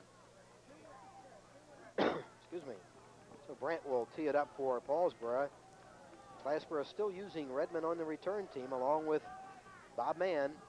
Redmond scoring just before halftime. 15 seconds to go before the half. Uh, and it's 22 to 8 for Paulsboro. Big crowd on hand. Second half action in the South Jersey Group 1 final. They kick to Redmond. Ball takes a funny hop behind him, and he'll down it in the end zone. It'll come out to the 20-yard line. So we'll get our question answered quickly here. Can the Glassboro offense continue what it did in the late stages of the first half and drive down the field again? Redmond has also already hit one milestone. Mike was talking about his yardage, 68. That put him over the 4,000 yard mark for his career. And we see Purnell, the backup quarterback, still warming up on the sidelines. And Redmond shooting for that 2,000 yard season. First and 10 Glassboro from its own 20. Redmond with the carry. Not a whole lot of room for him this time. Got a couple of yards over the left side of his line. Paulsboro has been tough defensively all day long. Second down and eight for Glassboro, just underway, second half. Paulsboro and Glassboro have combined to win each of the last five Group 1 championships. They're going to make it six today. That's an amazing record for these two Gloucester County schools. Right, over the middle, wide open Lester. He has a first down and more out to about the 34-yard line. Tackle made by Gentile and by Humes, but uh, Frank really on target today. We talked about him in the opening, Mike, that 256-yard game that he had against Clearview. A three-year starter, and of course he has the right to call audibles at the line of scrimmage, and he may have audibled that one. I love it when the coaches have the uh, philosophy that, hey, if we have a pass in the first or second down, we're going to go with it.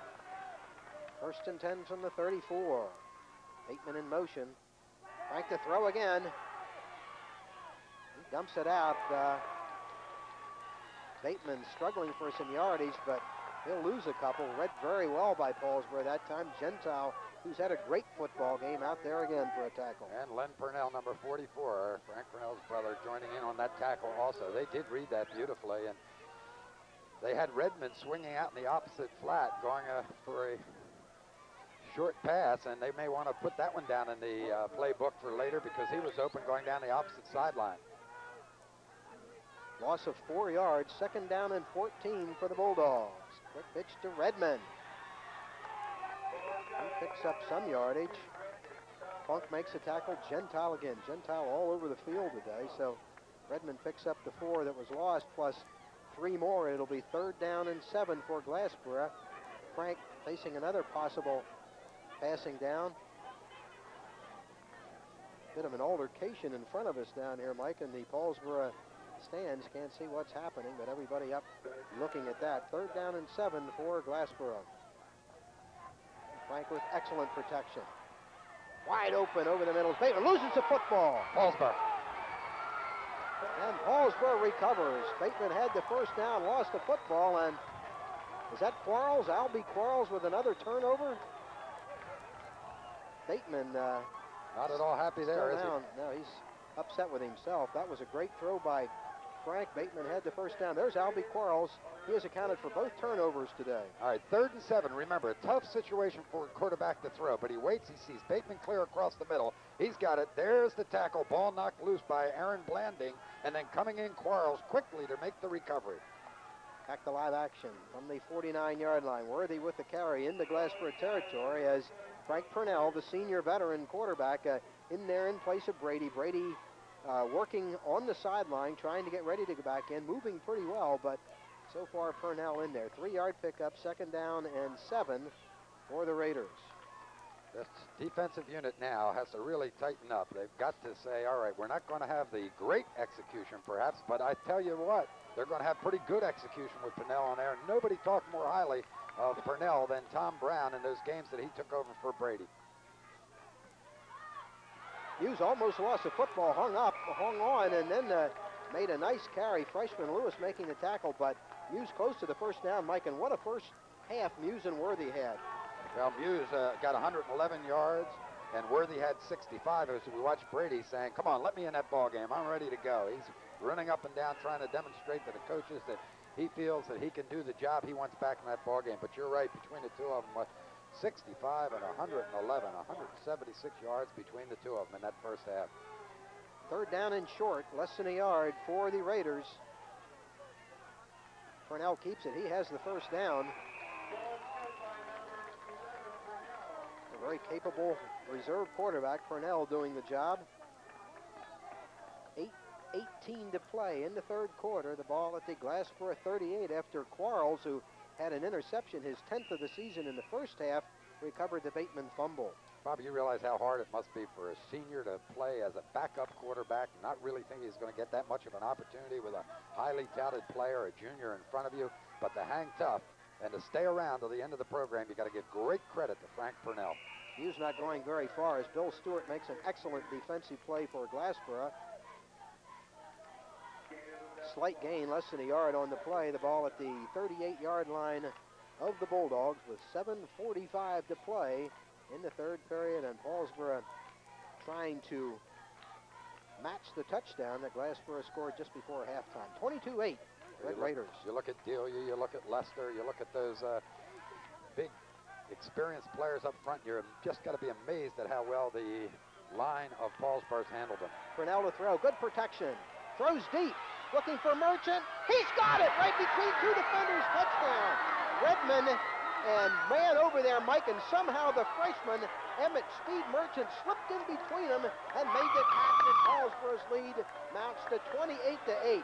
A 37-yard touchdown toss. You got to love the way he dropped back as deeply as he did to give Merchant chance to clear. At the other end, what you got to do is credit the concentration that you generally don't get out of a freshman like Emmett Merchant that time. Two defenders there. He kept running his route. He says, I know Purnell can get it to me. I'm not going to hesitate. I'm not going to slow down, and I'm going to watch for that ball, look it right into my hands for the touchdown. How about that, Frank Purnell? Great throw, but what a play by the freshman Merchant. We're going to be hearing an awful lot about that young man the next four years. Two-point conversion try. Purnell.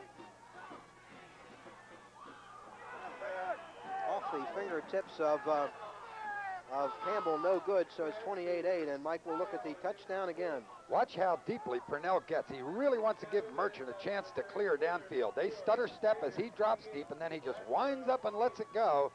The touchdown will only be a 37-yarder, but it was thrown a lot more than that. Look at that concentration as the two defenders are there, Mann and Redmond, and the freshman takes it into the end zone, and he'll remember that one for a long time, and I'll bet he'll have a lot more fine memories as his career continues here. We'll be back, 28 to 8.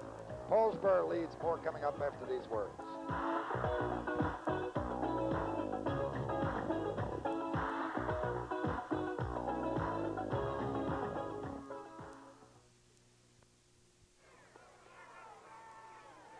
Bob and Mike Lindner back at Paulsboro High School where the Red Raiders have struck again and lead at 28-8 on the Purnell to Merchant touchdown pass. Redmond from his own eight. Tripped up by Blanding who makes a great play and uh, Paulsboro really psyched up now. 7-14 to play in the third quarter. And other than the Glassboro touchdown just before halftime, pretty much all Paulsboro in this one. Bulldogs will start from their own 21, and uh, every drive now a must situation for Glassboro. They have to score on just about every possession. Well, Lee Frank is 70% passing today, 7 for 10, but now Paulsboro can just drop back and play pass, and they're going to do it with uh, six defensive backs. Frank hits Lester, gets a great block from Bateman. And a good pickup, first down pickup. Quarles making the tackle. Great block by Bateman on that play, stringing Lester for some extra yards. Makes him 8 for 11 with one interception. So Lee Frank is doing an excellent job as we wondered about that before the ball game today, whether or not he would have the good passing day for Glassboro, and he's certainly doing it now. And there's the experience of a John Aveni, Bob. Don't go for the long stuff, just take it in short chunks. First and 10 from their own 33. Redmond looking for running room, doesn't get any. Schultz didn't make the tackle, but he made the play, slowing up Redmond so that his teammates could finish off the job. Love that fire plug in front. Lamont Briscoe, number 41. Uh, look at the size on him, 195 pounds, but it's packed in a frame, only five foot six. What did, what did he say in the beginning of the show, I want Redmond, huh? Gain of two by Redmond, second down and eight. Frank to throw again. Great effort by Lester, and Quarles just waiting there for another interception if the six foot three Lester hadn't been able to tip the ball, Mike. Well, they have a sense of where it's going, and they close down so well. Looks as if there's three defenders around the receivers, but uh, what happens is as soon as they saw him throw, they are able to close in on him. Here's the double fake. They do that nearly every time they throw. Now down, up over Lester's uh, outreached hands. A good thing he got that up, or that might have been picked off. Third down and eight. 5.59 to play, third quarter. Glassboro needs a first down desperately. From their own 36. Frank to throw. Getting a strong rush. Bowen chasing him out of the pocket. Finally gets it off. The ball dropped by Redmond. Is this ball alive? No, no incompleted pass. Incompleted pass as Redmond was really popped, Mike. Lee Frank that time dropped so quickly without the fake, which remember we pointed out on the prior play, they nearly double fake every time he goes back that I think the defense was able to read that it was going to be a screen all the way. As a result, the men who have to come up over there, the defensive end and the corner came up, took the screen play away. Frank eluded a tackler, but after he then got rid of the ball to Redmond, they were closing on him and really sucked Sean Redmond. Look at this. Where is he going? Going to flat, going to move out of the ball game now as we get the punt. Frank to punt in his own 36-yard line. Merchant and Quarles deep. High snap. Almost blocked, and I believe I believe it was, Mike. I believe the ball was partially blocked by Scott Campbell, number 84. Yes, he says he got it. He's coming off with his hands raised high. Old Scott Campbell, number 84. He's uh, one of those seniors that you don't hear much about. Here it is. Watch how close. He has to go up in the air to start with, and then Campbell just coming in, extends his body fully. You'll just see him come into the picture right there and gets his hand on it. Great play by Campbell. You know the key, Bob? Go in front of the kicker. Don't go into the kicker. Go where that ball is going to be. And Campbell, number 84, did it. At the 49-yard line of Glassboro. Muse, big hole. Mancini with the tackle, but the Paulsboro offensive line continues to do the job, and Worthy and Muse continue to have field days. Seven-yard pickup to the 41 and a half. Second down call at three for the Raiders, and another touchdown here, Mike, would, uh, I think, pretty much shut the door. Well, I'm not sure that there's much room of that door right now. Anything other than a minor crack open in it for Glassboro, but you're right. You want to slam it? Paulsboro can slam it right now.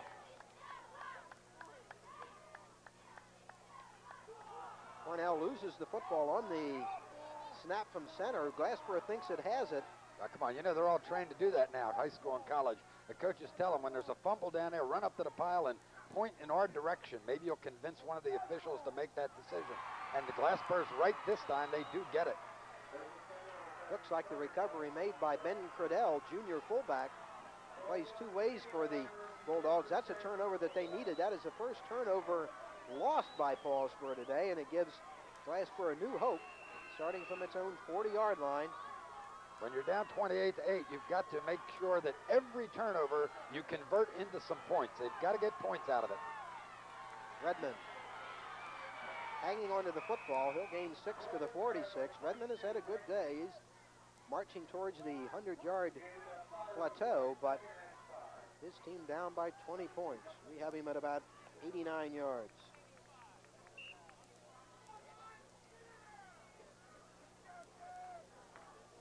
Clock running, 4.05 to go, third period. Glassboro needs points in a hurry. Redmond again. First down carry into the secondary. That's the Sean Redmond we all have been watching for the last three years. Big first down pickup that time to the 43-yard line, and Redmond ever closer to a 100-yard day. 28, 8 Paulsboro, however. You saw the explosion from uh, Redmond that time. What you didn't see was the ability to get going after he got into the secondary. Frank. That play busted, Mike? Yeah, no question about that. I can't believe they were running a naked reverse that time. It appeared that the backs went in the wrong direction, or Lee Frank went in the wrong direction. That's going to make it tough because it'll bring up a second and 16, which forces a passing situation. Allow the linebackers from uh, Paulsboro to drop off unless they decide on some kind of a blitz. But on this play, you got to believe that Lee Frank will have to pass. You'll see it. You can just sense the confusion here as Frank looks. And look, no confusion at all out of Len Purnell, number 44, as he comes on and seals off the outside, his responsibility containment. Back to live action. Frank to throw. a good protection.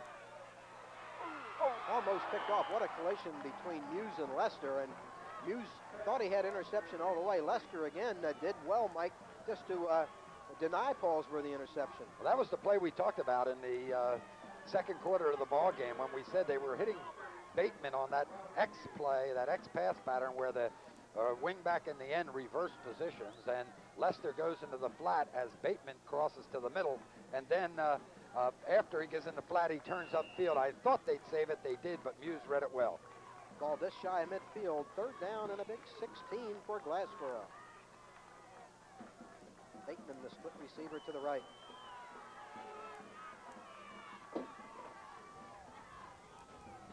Draw play to Redmond. He's going to get some good yardage. He's still on his feet. Look at him battle for the yardage. Well short of the first down, but a good pickup nonetheless by Redmond. I think that puts him over 100. Well, that gives him 34 on this uh, half. And he needed, what? 32, so 32, he's got 102, yeah. right? 102 yards for Redmond, so he's got another 100-yard contest. And they'll gamble again on fourth down. Fourth and about nine for the Bulldogs. Mike again to throw. Over the middle has Bateman, but he will not have the first down. Good defense by Pandolfo and by Gentile. What a game Gentile and Pandolfo have had.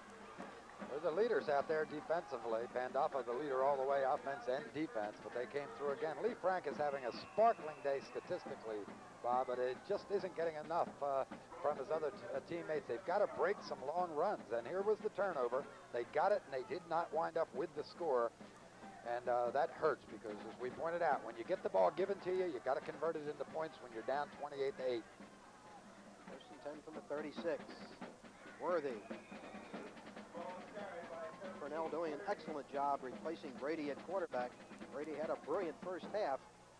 Paulsboro's depth at the quarterback position obviously paying dividends. Gain of about five for Worthy, who's had a tremendous game. He and Muse. Second down and five. Little equipment repair, timeout for Bateman. And now they'll rewind the clock. 135, 134 in the third period.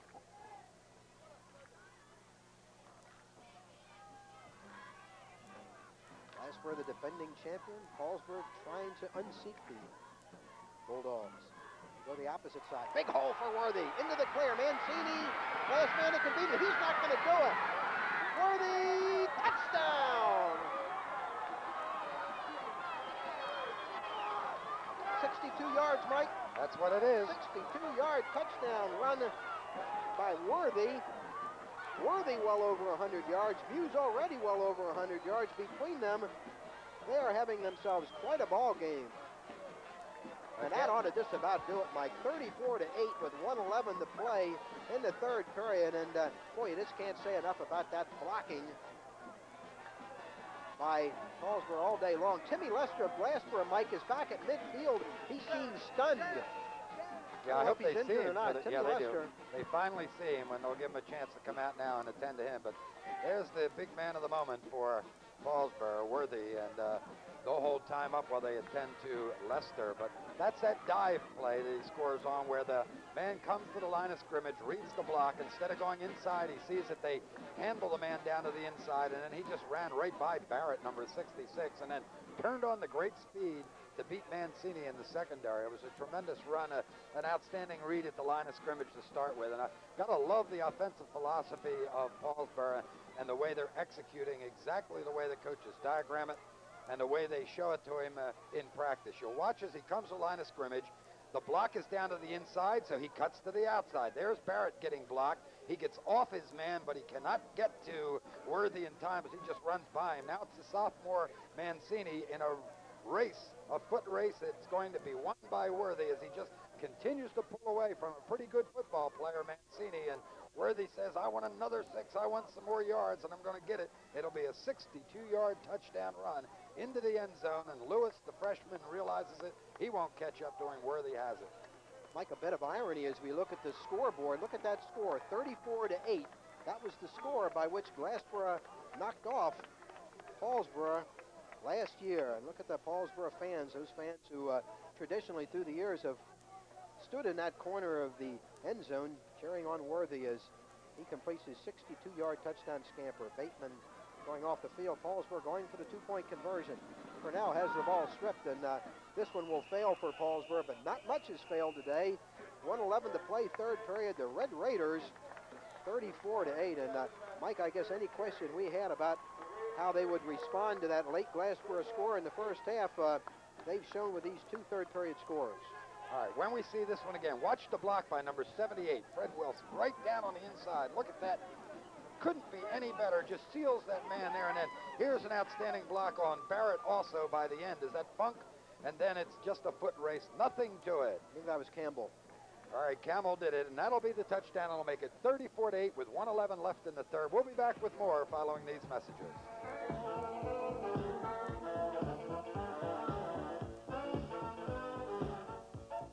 Don't run all over town looking for an auto parts store that has your auto parts.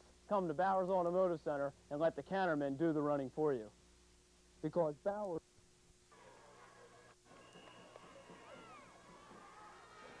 Brant doing the honors again for Paulsboro. He's had a lot of work today. Boy, they're kicking right to Redmond. Takes this one from the 10, starts slowly, and he is mid, mid open field tackle. A great tackle by Blanding. You know, Sean Redmond uh, might be hurt, Mike. he looked uh, somewhat tentative when he got the football, like he wasn't ready to run. I wasn't sure if he was waiting for a blocking pattern to open up or not. But I'll tell you this, Aaron Blanding epitomized Paulsboro defense on that play because Blanding was clearly blocked, knocked up in the air, kept his bearings, wound up going right to Redmond and wham, making that tackle on Sean Redmond, taking him to the ground, and Sean felt that one.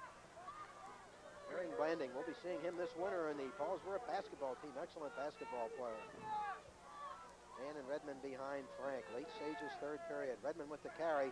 Gentile right there. Doesn't make the tackle, but Gentile made, uh, Jeff Gentile made the play.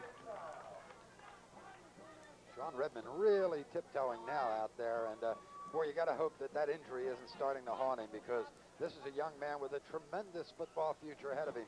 Who doesn't want him in the United States? My understanding is that Notre Dame is in the running. Wouldn't that be great if we had a South Jersey player wind up out there and become a big timer? I understand that uh, although he hasn't made any visits yet, Mike, that he might be leaning towards Notre Dame. Final play perhaps of the third quarter, eight, seven, seven, seven seconds to go in the period. Mike to throw. Good protection again. Almost picked off He's, we've seen him do that Humes. a lot. Wade we? Humes has had a big season. That'll do it for the third period from Paulsboro. All Paulsboro so far. 34 to 8. Like a look at that play before we break for the third quarter.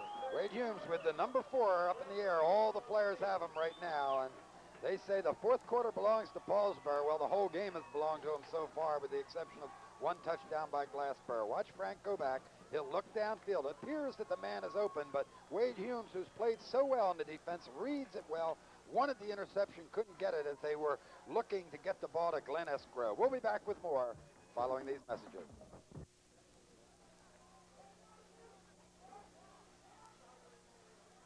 34 to 8, Paulsboro with the uh, big lead as we enter what I think could be called now, Bob, the final 12 minutes of the 1984 season in Group 1 action in South Jersey. Remember, there was an opportunity for a uh, sudden death, but I don't think that's going to happen today. It's, it hasn't been too sudden, in fact, but it's been a pretty good afternoon for Paulsboro. Glassboro from its 20-yard line, third down and nine. Redmond into the clear. Good run by Redmond for the first down. Redmond's had himself a good ball game, but remember the job that Worthy and Muse have done.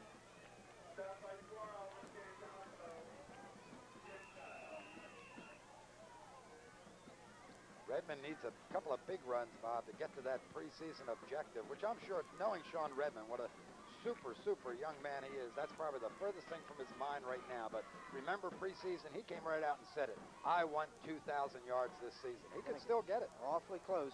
First and 10 from the 33. Redmond again. Battling for yardage. He's getting hit two, three, four times in every play. Still getting his yards, but uh, give this Paulsboro defense credit for an outstanding game today. Blanding there again with part of the tackle. Gentile also how much football have we seen in the last five years on Channel 5, uh, but can you imagine, these are two Group 1 schools, both of them fairly small, and to think the kind of uh, uh, talent that they get, the kind of turnout they get, the kind of execution they get to go along with the superb coaching that exists here. You'd never know if you just walked into the stadium at Paulsboro today that this is Group 1 football, and really uh, not up at the top as far as enrollment goes. This is superb execution. These young men love to play football. There's a guy that enjoyed that great block to key that last big uh, touchdown run. Freddie Wilson, number 78. He's got something he can be proud about. Having been a back in high school and college, Bob, we used to love to get the write-ups in the newspapers, but any of us had any semblance of intelligence knew without the lineman up front, nothing happens for the back. I don't care who you are. And, uh, Muse and Worthy and Brady have been the benefactors today of superb blocking by that front five. A real Cinderella story, I think, this Paulsboro team, Mike, because uh, despite the great Paulsboro football tradition, hardly anybody expected the Raiders would be here today battling for their fourth South Jersey championship since 1979. Uh, what a job these players, his coaching staff have done here at Paulsboro High School. Paulsboro has never lost a Group 1 final, and uh, it does not appear that that tradition will end today. Mike, if I had told you when we arrived today, it would be 34 to 8 at the end of the third period with Paulsboro leading. Would you have believed me? Well, if you had told me it'd be 34 to 8 with either of these teams leading at the end of the third period, I wouldn't have believed it. Second down and five, 11-11 to play for 1984 football season. Ball play to Redmond. Good room, trying to get to the outside. Straight arms Blanding still on his feet. I tell you, Sean Redmond hasn't stopped battling for yardage. Another first down carry for Sean. Well, you got to like that young man as a back, Mike. He is still in there battling with all he has. 5'11", 185 pounds, and you'll see the explosive speed on this replay. Gets a pretty good block up front. There's Guyton, 61, through an outstanding block, and now Redmond turns to the outside. Blanding really has to struggle to hold him up until Purnell can come in and finish him off. Sean Redmond. What a lot of thrills he's provided for everybody in South Jersey the last three seasons. Ball right at midfield. First and 10 for the Bulldogs, but they need touchdowns and need them in a hurry. Over the middle. Bateman again drops one, and that was catchable. Humes right there, but another good throw by Lee Frank, Mike. Lee Frank has uh, not gotten the great ink, uh, not certainly hasn't gotten the publicity that he has merited uh, in his three-year career. John Aveni's done his best to clue everybody in. He's forever talking about Lee Frank and how much he likes him and how much he's been very proud of his efforts. But people, when they come to Glassboro last year, talked about the dynamic duo, Lockbaum and Redmond, and this year talk about Redmond. So Lee Frank has had to do it uh, very, very quietly, but he's been very efficient. Second and 10.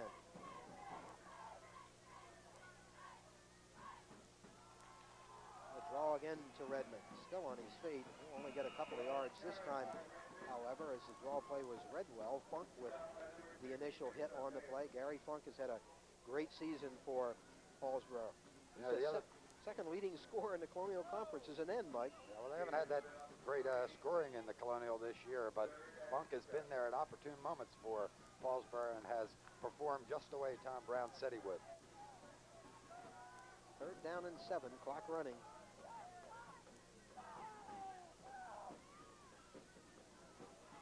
Frank again has to throw in almost every play. Hits Redmond, breaks one tackle, still on his feet. Twists, looking for the first down marker. I think Lester may get called for a clip, an illegal block or something over there as Lester and Quarles were going at it. Number 80 for Glassboro, number 9 for Paulsboro. We'll wait and see what the call is. This will hurt because Redmond's advance was very close to the first down. have a red captain, please? That was third down, okay? We're going to have fourth and short. We'll go back 15 yards from the clip. Where's the clip down there? We'll go from here. Back 15, be third down, and I don't know, about 15, or fourth and one. Third and 15, that's a good choice. We'll go back. John Lesko. Like him, he makes those calls very clear to the players. You know, the other night, Bob, we did our first basketball action of the season on uh, Channel 5, and you, of course, on one of those many, many excursions, this time to Washington, D.C.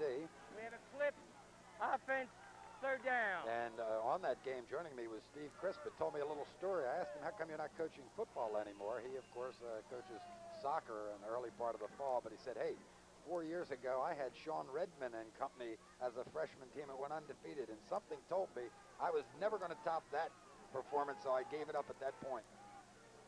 Third down and 15 for the Bulldogs. They use Redmond as a wide receiver this time, right over the middle of Bateman. Makes a good cut, and I believe he has the first down, but lost the football on his way down. Oh boy, that's tough for Dave Bateman, who's had such a good season. He's having some trouble hanging on to the ball today. I don't know who got that. Was that Quarles or was that Muse that came up with that ball? Well, they were all there, and I'm not sure which one will get credit, but they all deserve some merit on that play. And we'll watch this time. Frank will look to the left as he drops back because Redmond was out here at the bottom of your screen as a flanker. He fakes that, tries to draw the halfbacks, and then on a look-in pattern to Bateman, he has it. It's a good hit, another good hit, and then they come in and clean up on the reception. And look at them all jump, landing and Quarles and uh, uh, number 20 in there, also Gentile. Tough figures right there for Glassboro. 9.05 now to play, and Paulsboro probably will just keep the football on the ground. Muse, who's had a tremendous day along with Worthy, they've been uh, complemented each other brilliantly, and I believe Muse is injured on the play. Paulsboro coaches running out on the field. Robert Muse, another of the Paulsboro basketball players. What a job he's done today. Two superb football teams with outstanding seasons coming together here in the South Jersey Group 1 final. Paulsboro losing during the season to two clubs in the Colonial Conference, Sterling and Audubon. Audubon may be the biggest shock. That game, what, 22 to nothing, and nobody anticipated that. Tom Brown really had to take stock of his football team after that game, and I think made the right decision. Bobby just said, hey, we were flat. This is not what we're capable of. Let's not look at that game as anything but a learning experience. Let's not make any significant changes or alterations, and let's go back and just do what we know we're capable of doing. And they got rid of that, went on to share the Colonial Conference title, uh, and uh, now coming down on what looks like a guaranteed lock on the Group 1 South Jersey Championship. Glassboro, on the other hand, what, just a big shocker to uh. And again, Aveni in that ball game, I think, handled it well and said, we didn't play what we're capable of. Delsea's a superb team. They really handled us that day, but uh, or that evening. We had that game, what was it, 9,000 people at Glassboro State College. But that, both uh, the defeats that we talked about mark the kind of football traditions at these schools and the kind of coaches they have. They didn't dwell on it. They learned from it, and they went on to finish up uh, what is an outstanding season for both teams. Some concern now for Robert Muse as uh, Pete Lamonti, the athletic director, just coming into your screen down on the right. Uh, a lot of the players out there, the coaches. Muse has had such a brilliant football game. You talked about that Audubon game being pivotal, Mike. The Paulsboro offense in the middle of the season uh, kind of disappeared. Uh, they lost 16 to 6 to Sterling. Then, of course, the game we televised came back and defeated Gateway 6 nothing. Then were shut out by Audubon 22 nothing. So over a course of three games, they only scored two touchdowns. But then, And you know who was missing in those games? of course, uh, Mike Brady. Of course, uh, Since then, they have defeated Collingswood 41 nothing, Pleasantville 28 nothing in the first round of the playoffs, and then West Deptford, a game we also televised on Thanksgiving 22 to 6. And uh, we don't like what we're seeing here as Robert Muse is being carried off the field by four or five of his teammates. And worse yet, they're calling for the ambulance. Oh boy, what a shame. And looks like a knee, and that terrible, terrible injury. That's the one that everybody fears in football, and that's the one that can just linger with you and just make it so tough to ever come back. He's had a superb career. He'll get the plaudits of the fans as they get him to the sideline, but right now everybody just really worried about the well-being of that fine young football player. What a shame.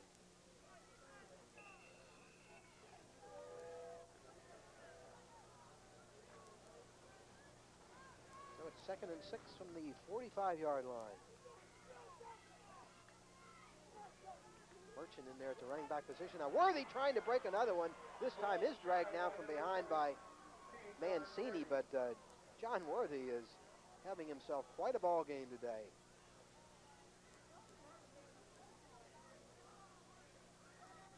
Concern for Robert Muse. Boy, Not ready to put him in the ambulance. terrible thing to see anytime, but it's even worse when you're in your final game in your final quarter. 8.20 to play. Outcome of the game no longer in doubt. Concern for Robert Muse. Merchant, the freshman with the carry. Very little yardage. Paulsboro discontent now, obviously, to keep the ball on the ground, use up the clock. Only 8.05 to play.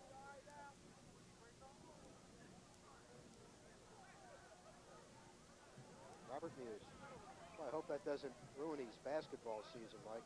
Yeah, relatives obviously uh, crowding around him. They'll make that long ride to the hospital and then wait for the diagnosis and hope it isn't as severe as it appears to be right now. Second and nine. Purnell hangs on to it this time. Lester with a good defensive play.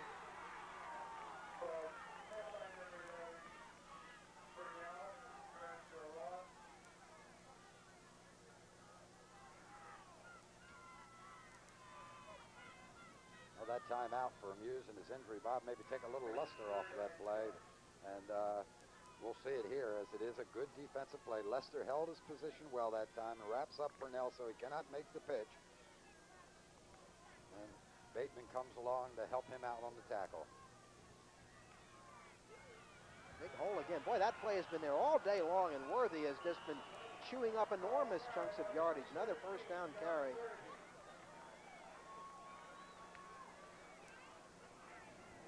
Blocking on the left side of that line for that play by Worthy has been incredible today. Yeah, the, the biggest surprise to me all day long has been the ability to handle the big tackles. Donovan at 225 and Delia at 230 with Stewart anchoring the middle. I just did not anticipate Paulsboro's line as quick as it is.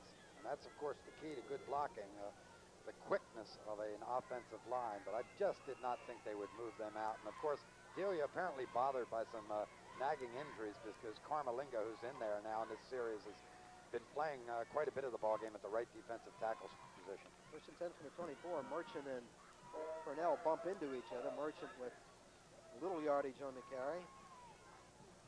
With the clock running, 6.40 to go. Merely a matter of time now. And uh, wouldn't it be uh, incredibly ironic, Mike, if this score would hold up and uh, Paulsboro would avenge last year's loss to Glassboro by exactly the same score, 34 to 8. They'd be happy with it, but the way they're playing, I think they want to change that score. They're looking for at least 40 points, maybe 41 or 42. Worthy again. Good hole again, and he's taking people with him. Glassboro just backing up now, aren't they, on the snap of that ball? They just don't have the enthusiasm. That's been robbed from them by the outstanding play of Paulsboro all afternoon. And they're going to have to really uh, get the old pride factor as we have another injury out there, this time to a Glassboro player. But uh, they're going to have to get the pride factor into play here to deny Paulsboro the end zone one more time. That was Lewis, but he's on his feet now. He's okay. Lewis, another one of the fine underclassmen, only a freshman, freshman. Yeah, they talk about him and the future they anticipate out of that young man. He had a, just a tremendous season on the freshman club and was brought up to play varsity uh, two or three games ago. And made some outstanding plays. 36 points, most points Glassboro has given up this season. And remember, they went up against that juggernaut Delsea, that big game we talked about at Glassboro State College.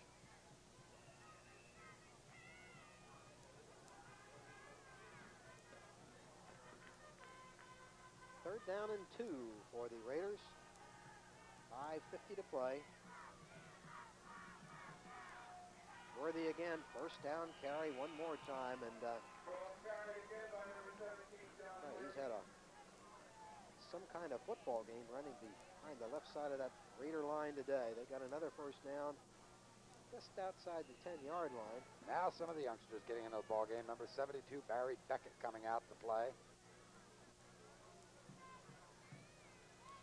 Number 33, is that good?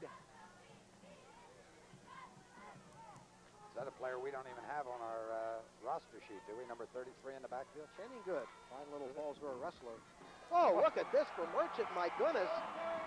10 yards. Oh, that was the easiest looking touchdown I think I've seen all season, Mike, and it's 40 to 8 as Merchant, the freshman, scores his second touchdown. You talk about hitting the hole in a hurry, but uh, there wasn't just a hole there, Mike. It was a whole acre. I don't care how much they want to call him Emmett Merchant. It's got to be Speed Merchant from here on out. And he shows us on that play. He just goes, boom, 10 yards. It's over in the end zone. Touchdown, 40 points to 8. That's frightening speed, Mike. And they talk about his, uh, they think that he uh, is quicker than Willie Flipper Anderson, if you can believe that. Well, Paulsboro making it look easy now. 5.18 to play. They lead 40 to 8. Purnell to throw for the two-point conversion. Knocked down, however, by Gipe. And uh, we'll look at the latest Paulsboro touchdown, Mike. And this one happens in a hurry, so you better keep your eye on it. Just a straight dive on the right side. Number 12, Merchant will get the handoff from Purnell. Bang, he's into the hole. Really not that big a hole there. He just finds it to the right side again. And whoom, right by the line of scrimmage. He's going to go in. Nobody in the secondary is going to get the Merchant. Mancini can't get over there, and he knows it. And Emmett really just slows up a little bit. Can you believe that? And it's still one of the quickest 10-yard runs we've seen all season long. Tom Brown coming down now from Yeah. the press box, and I guess that signals it. Brown says, we've got it. Win number nine. We'll be back with more following these words. Oh, what a workout. Really wish I had a dollar for every ounce I lost. Mommy, hurry. Daddy have surprise. What is you'll see?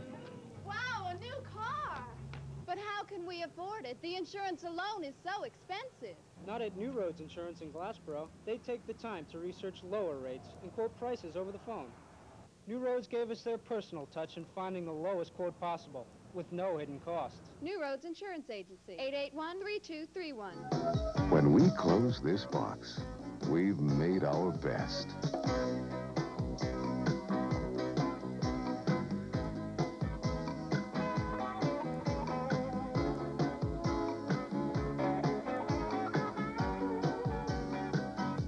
When you open this box, you enjoy the best. Hot, fresh pizza delivered to you in 30 minutes or less. Because Showtime's December movie excitement means everything.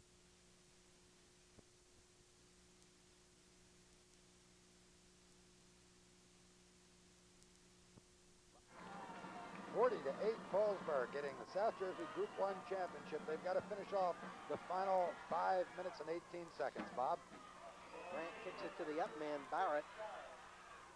Barrett with a pretty good piece of running for a lineman, gets it back to the 31-yard line, but season has only 5 minutes and 11 seconds left for these two teams, and Paulsboro High School is going to win another championship, and I don't know if anybody would have believed at the beginning of the season that the Raiders would do just this. They'll be 9 and 2. Glassboro also will finish 9 and 2. Frank still in there at quarterback, back to throw. And going for the whole bundle. Good. So good just in there, makes pretty good defensive play, battling Bateman for the ball. Good at only five foot six, and Bateman at six foot three.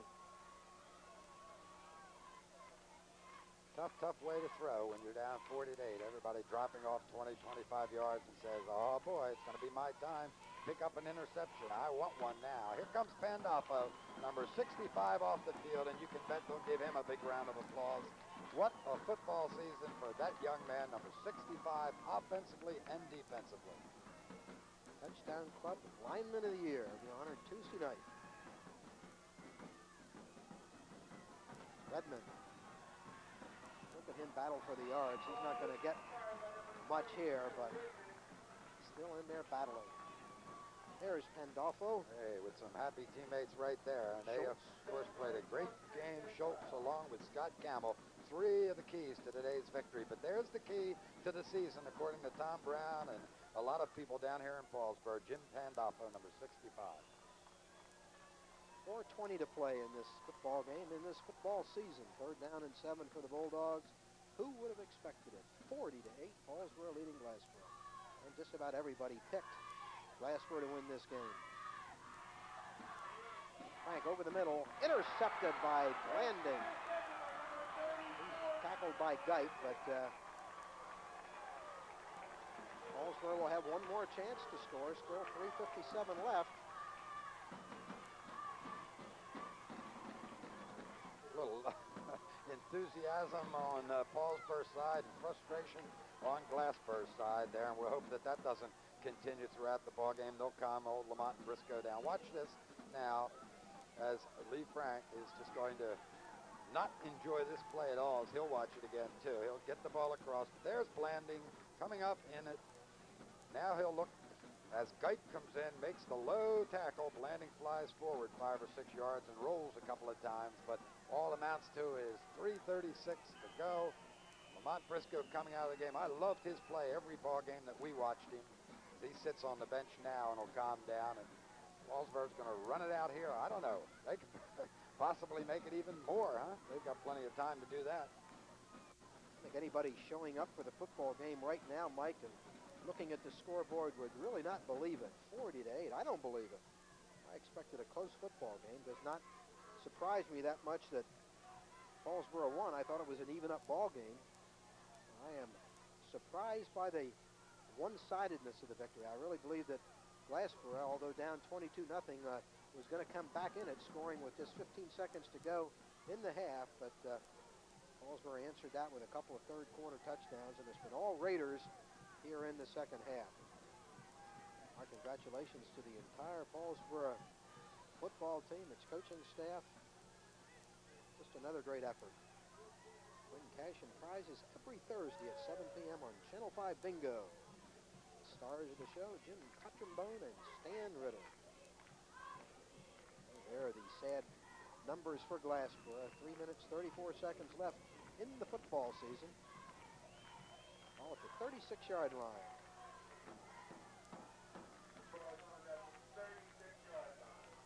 Merchant, who already has two touchdowns today, and remember, only a freshman. You got to like the way Tom Brown spotted him all season long. I do. Especially, he's had to be getting pressure from a lot of the people in the Paulsboro area who've watched that young man in midget competition and have been talking about the career he's going to have. And a Tom Brown who has the security of knowing uh, from looking at his numbers and the confidence of a good coach that I know what I'm doing. I'm going to spot this guy. I'm going to bring him along slowly. He's going to have nothing but positive experiences to build upon, and it's worked out, and he's going to be a, a future big-timer for Paulsboro. Worthy, who's had a 100-yard plus, really 150 yards plus.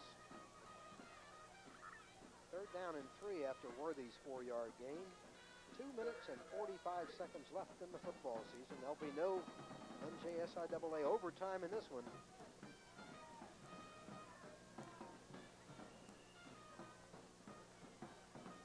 Another credit that we have to point out is Purnell and his play here taking over for Brady in the second half. Mike Brady with the outstanding numbers, tremendous performance in the first half. Purnell coming in after Brady's hurt.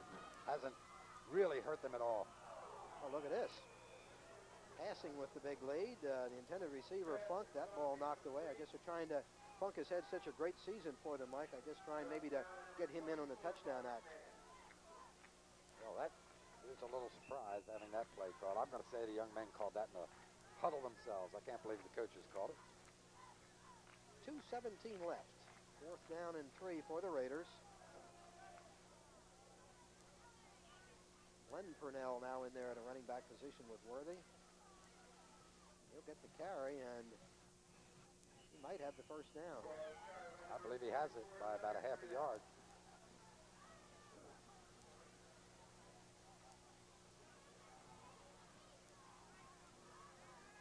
Two ten left.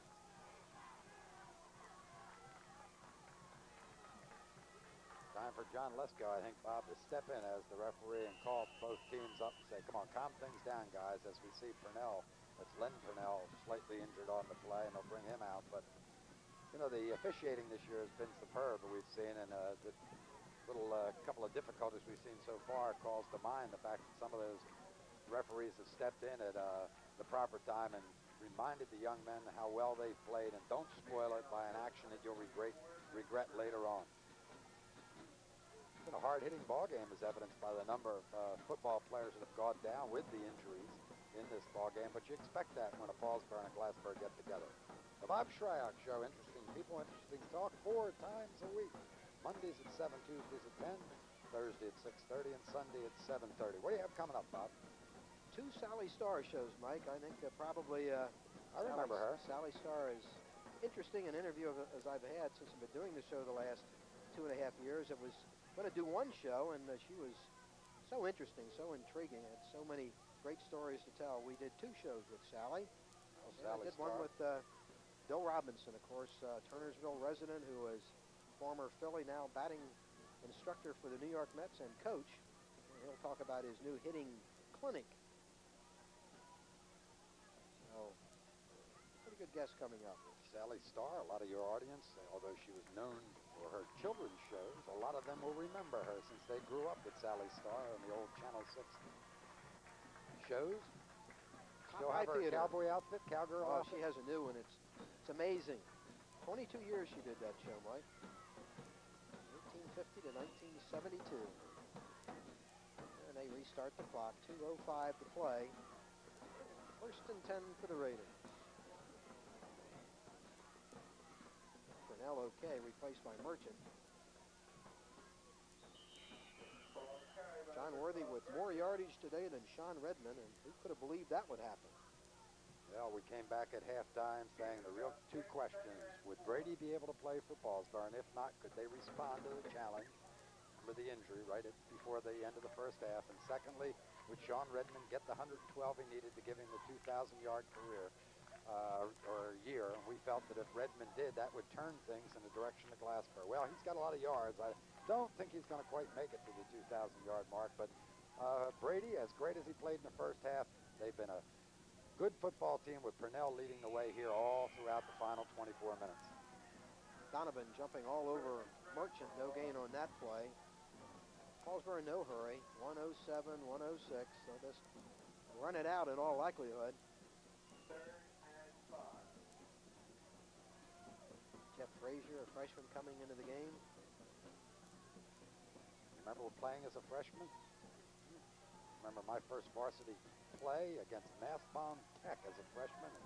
The ball was snapped before I knew it. I had two black eyes when a couple of defenders smacked me real tough. Frazier getting that opportunity now to get into the ball game and feel what it's like to get hit by a varsity performer. Merchant with the carry. 37 seconds to play. Another first down for the Raiders, but restart the clock, and they really only have to take one more snap.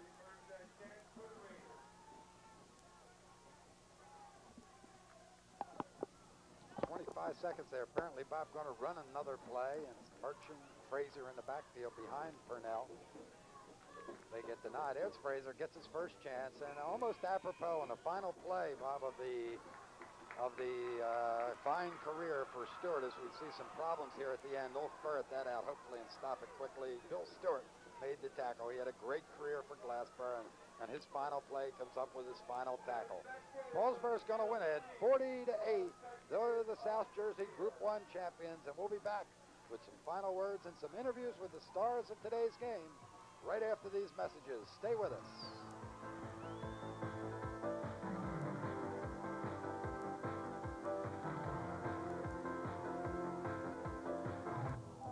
Glassboro and Paulsboro, the two teams that seem to always wind up in the South Jersey Group 1 finals. A big celebration for the Red Raiders from Paulsboro today as they get the victory for the fourth time in the South Jersey Group 1 finals.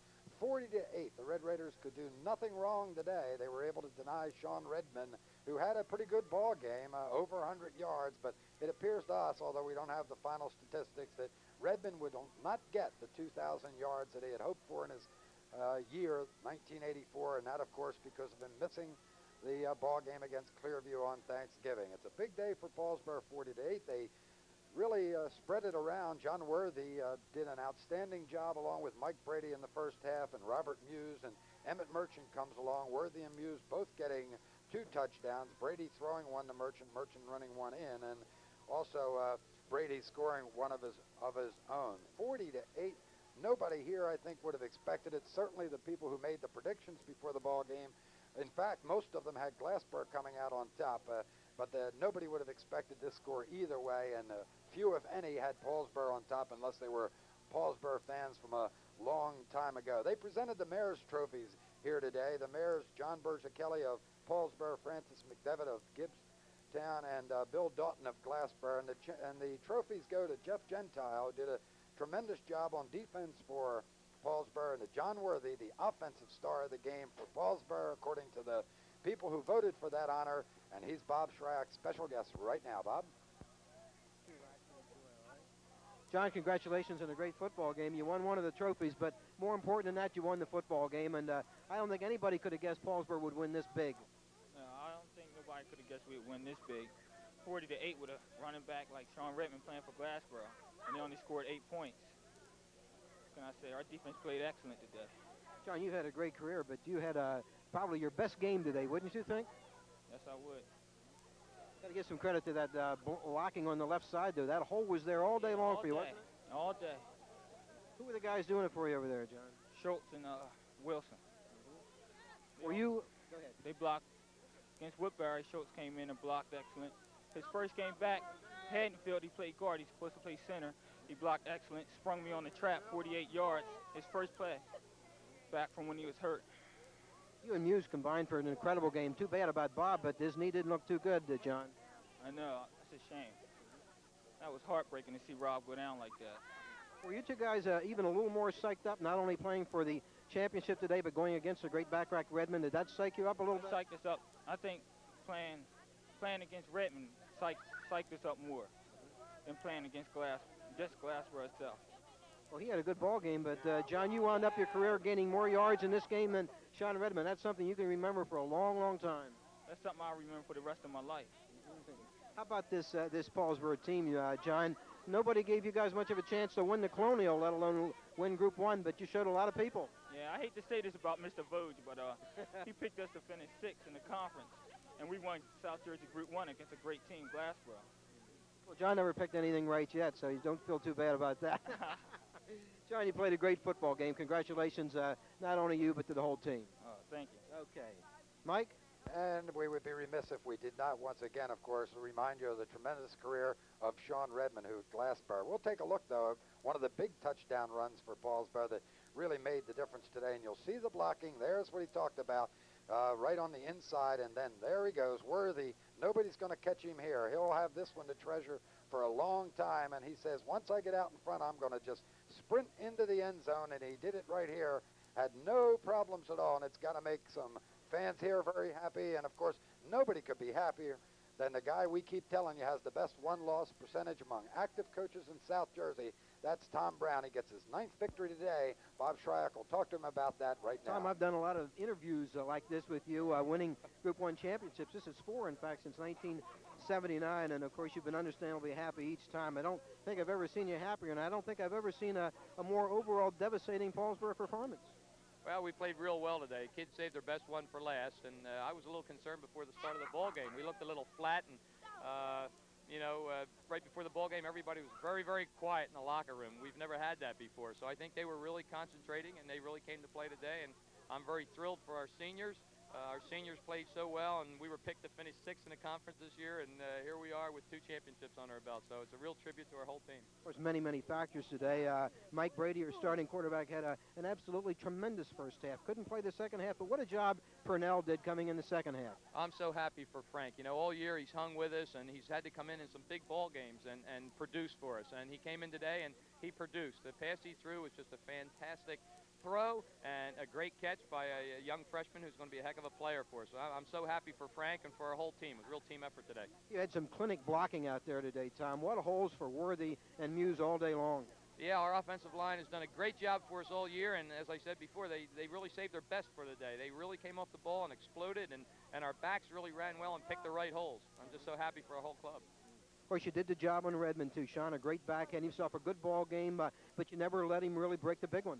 No, our, our, our defensive uh, uh, line really contained well today, and uh, we had some a nice job by our secondary, an outstanding play by our linebackers, and uh, of course they dropped a couple balls, which uh, made things a little bit easier for us. But uh, it's just an outstanding effort, as I said before, the whole team effort. Well, Glassboro came back just before halftime. You're up 22 nothing. They score one to get back in it, but then you come right back in the second half and uh, and get the touchdown that really put them away. Yeah, that one really had us worried. They seemed to get a lot of momentum going for them and uh, scored the touchdown. And you know, we were very concerned at halftime, but we just went in. and We talked about we got to go out there and we got to block and tackle the same way as we did in the first quarter. And we know the things that got us to where we are, and we got to continue to do those things. They've all been great ones for you, Tom. But uh, any sweeter than this one? Uh, probably not. Uh, you know, uh, as I said, this was a team that uh, the seniors uh, finished with the worst record we've had here since we've been here as a staff as freshmen. Uh, they were two and two and six, and uh, to come back and win themselves two championships with the help of a lot of other the underclassmen, uh, I just really can't say enough about this team. I'm so proud of them. I wanted you to say something about Bob Muse too. Of course, uh, the one sad note was uh, that he went out late. It didn't look too good, a knee, right? I think it was a knee. I, I didn't have a chance to uh, talk to anybody yet about how serious the injury might be, but we'll have to check him and, uh, and see. I hope everything is going to be okay because he's an outstanding athlete and uh, he's really an asset to our basketball program, so I hope that's not going to hurt him. Tom, congratulations on a great victory. Thanks, Bob. Okay. Mike? Tom Brown will talk about those seniors that he had on this club for a long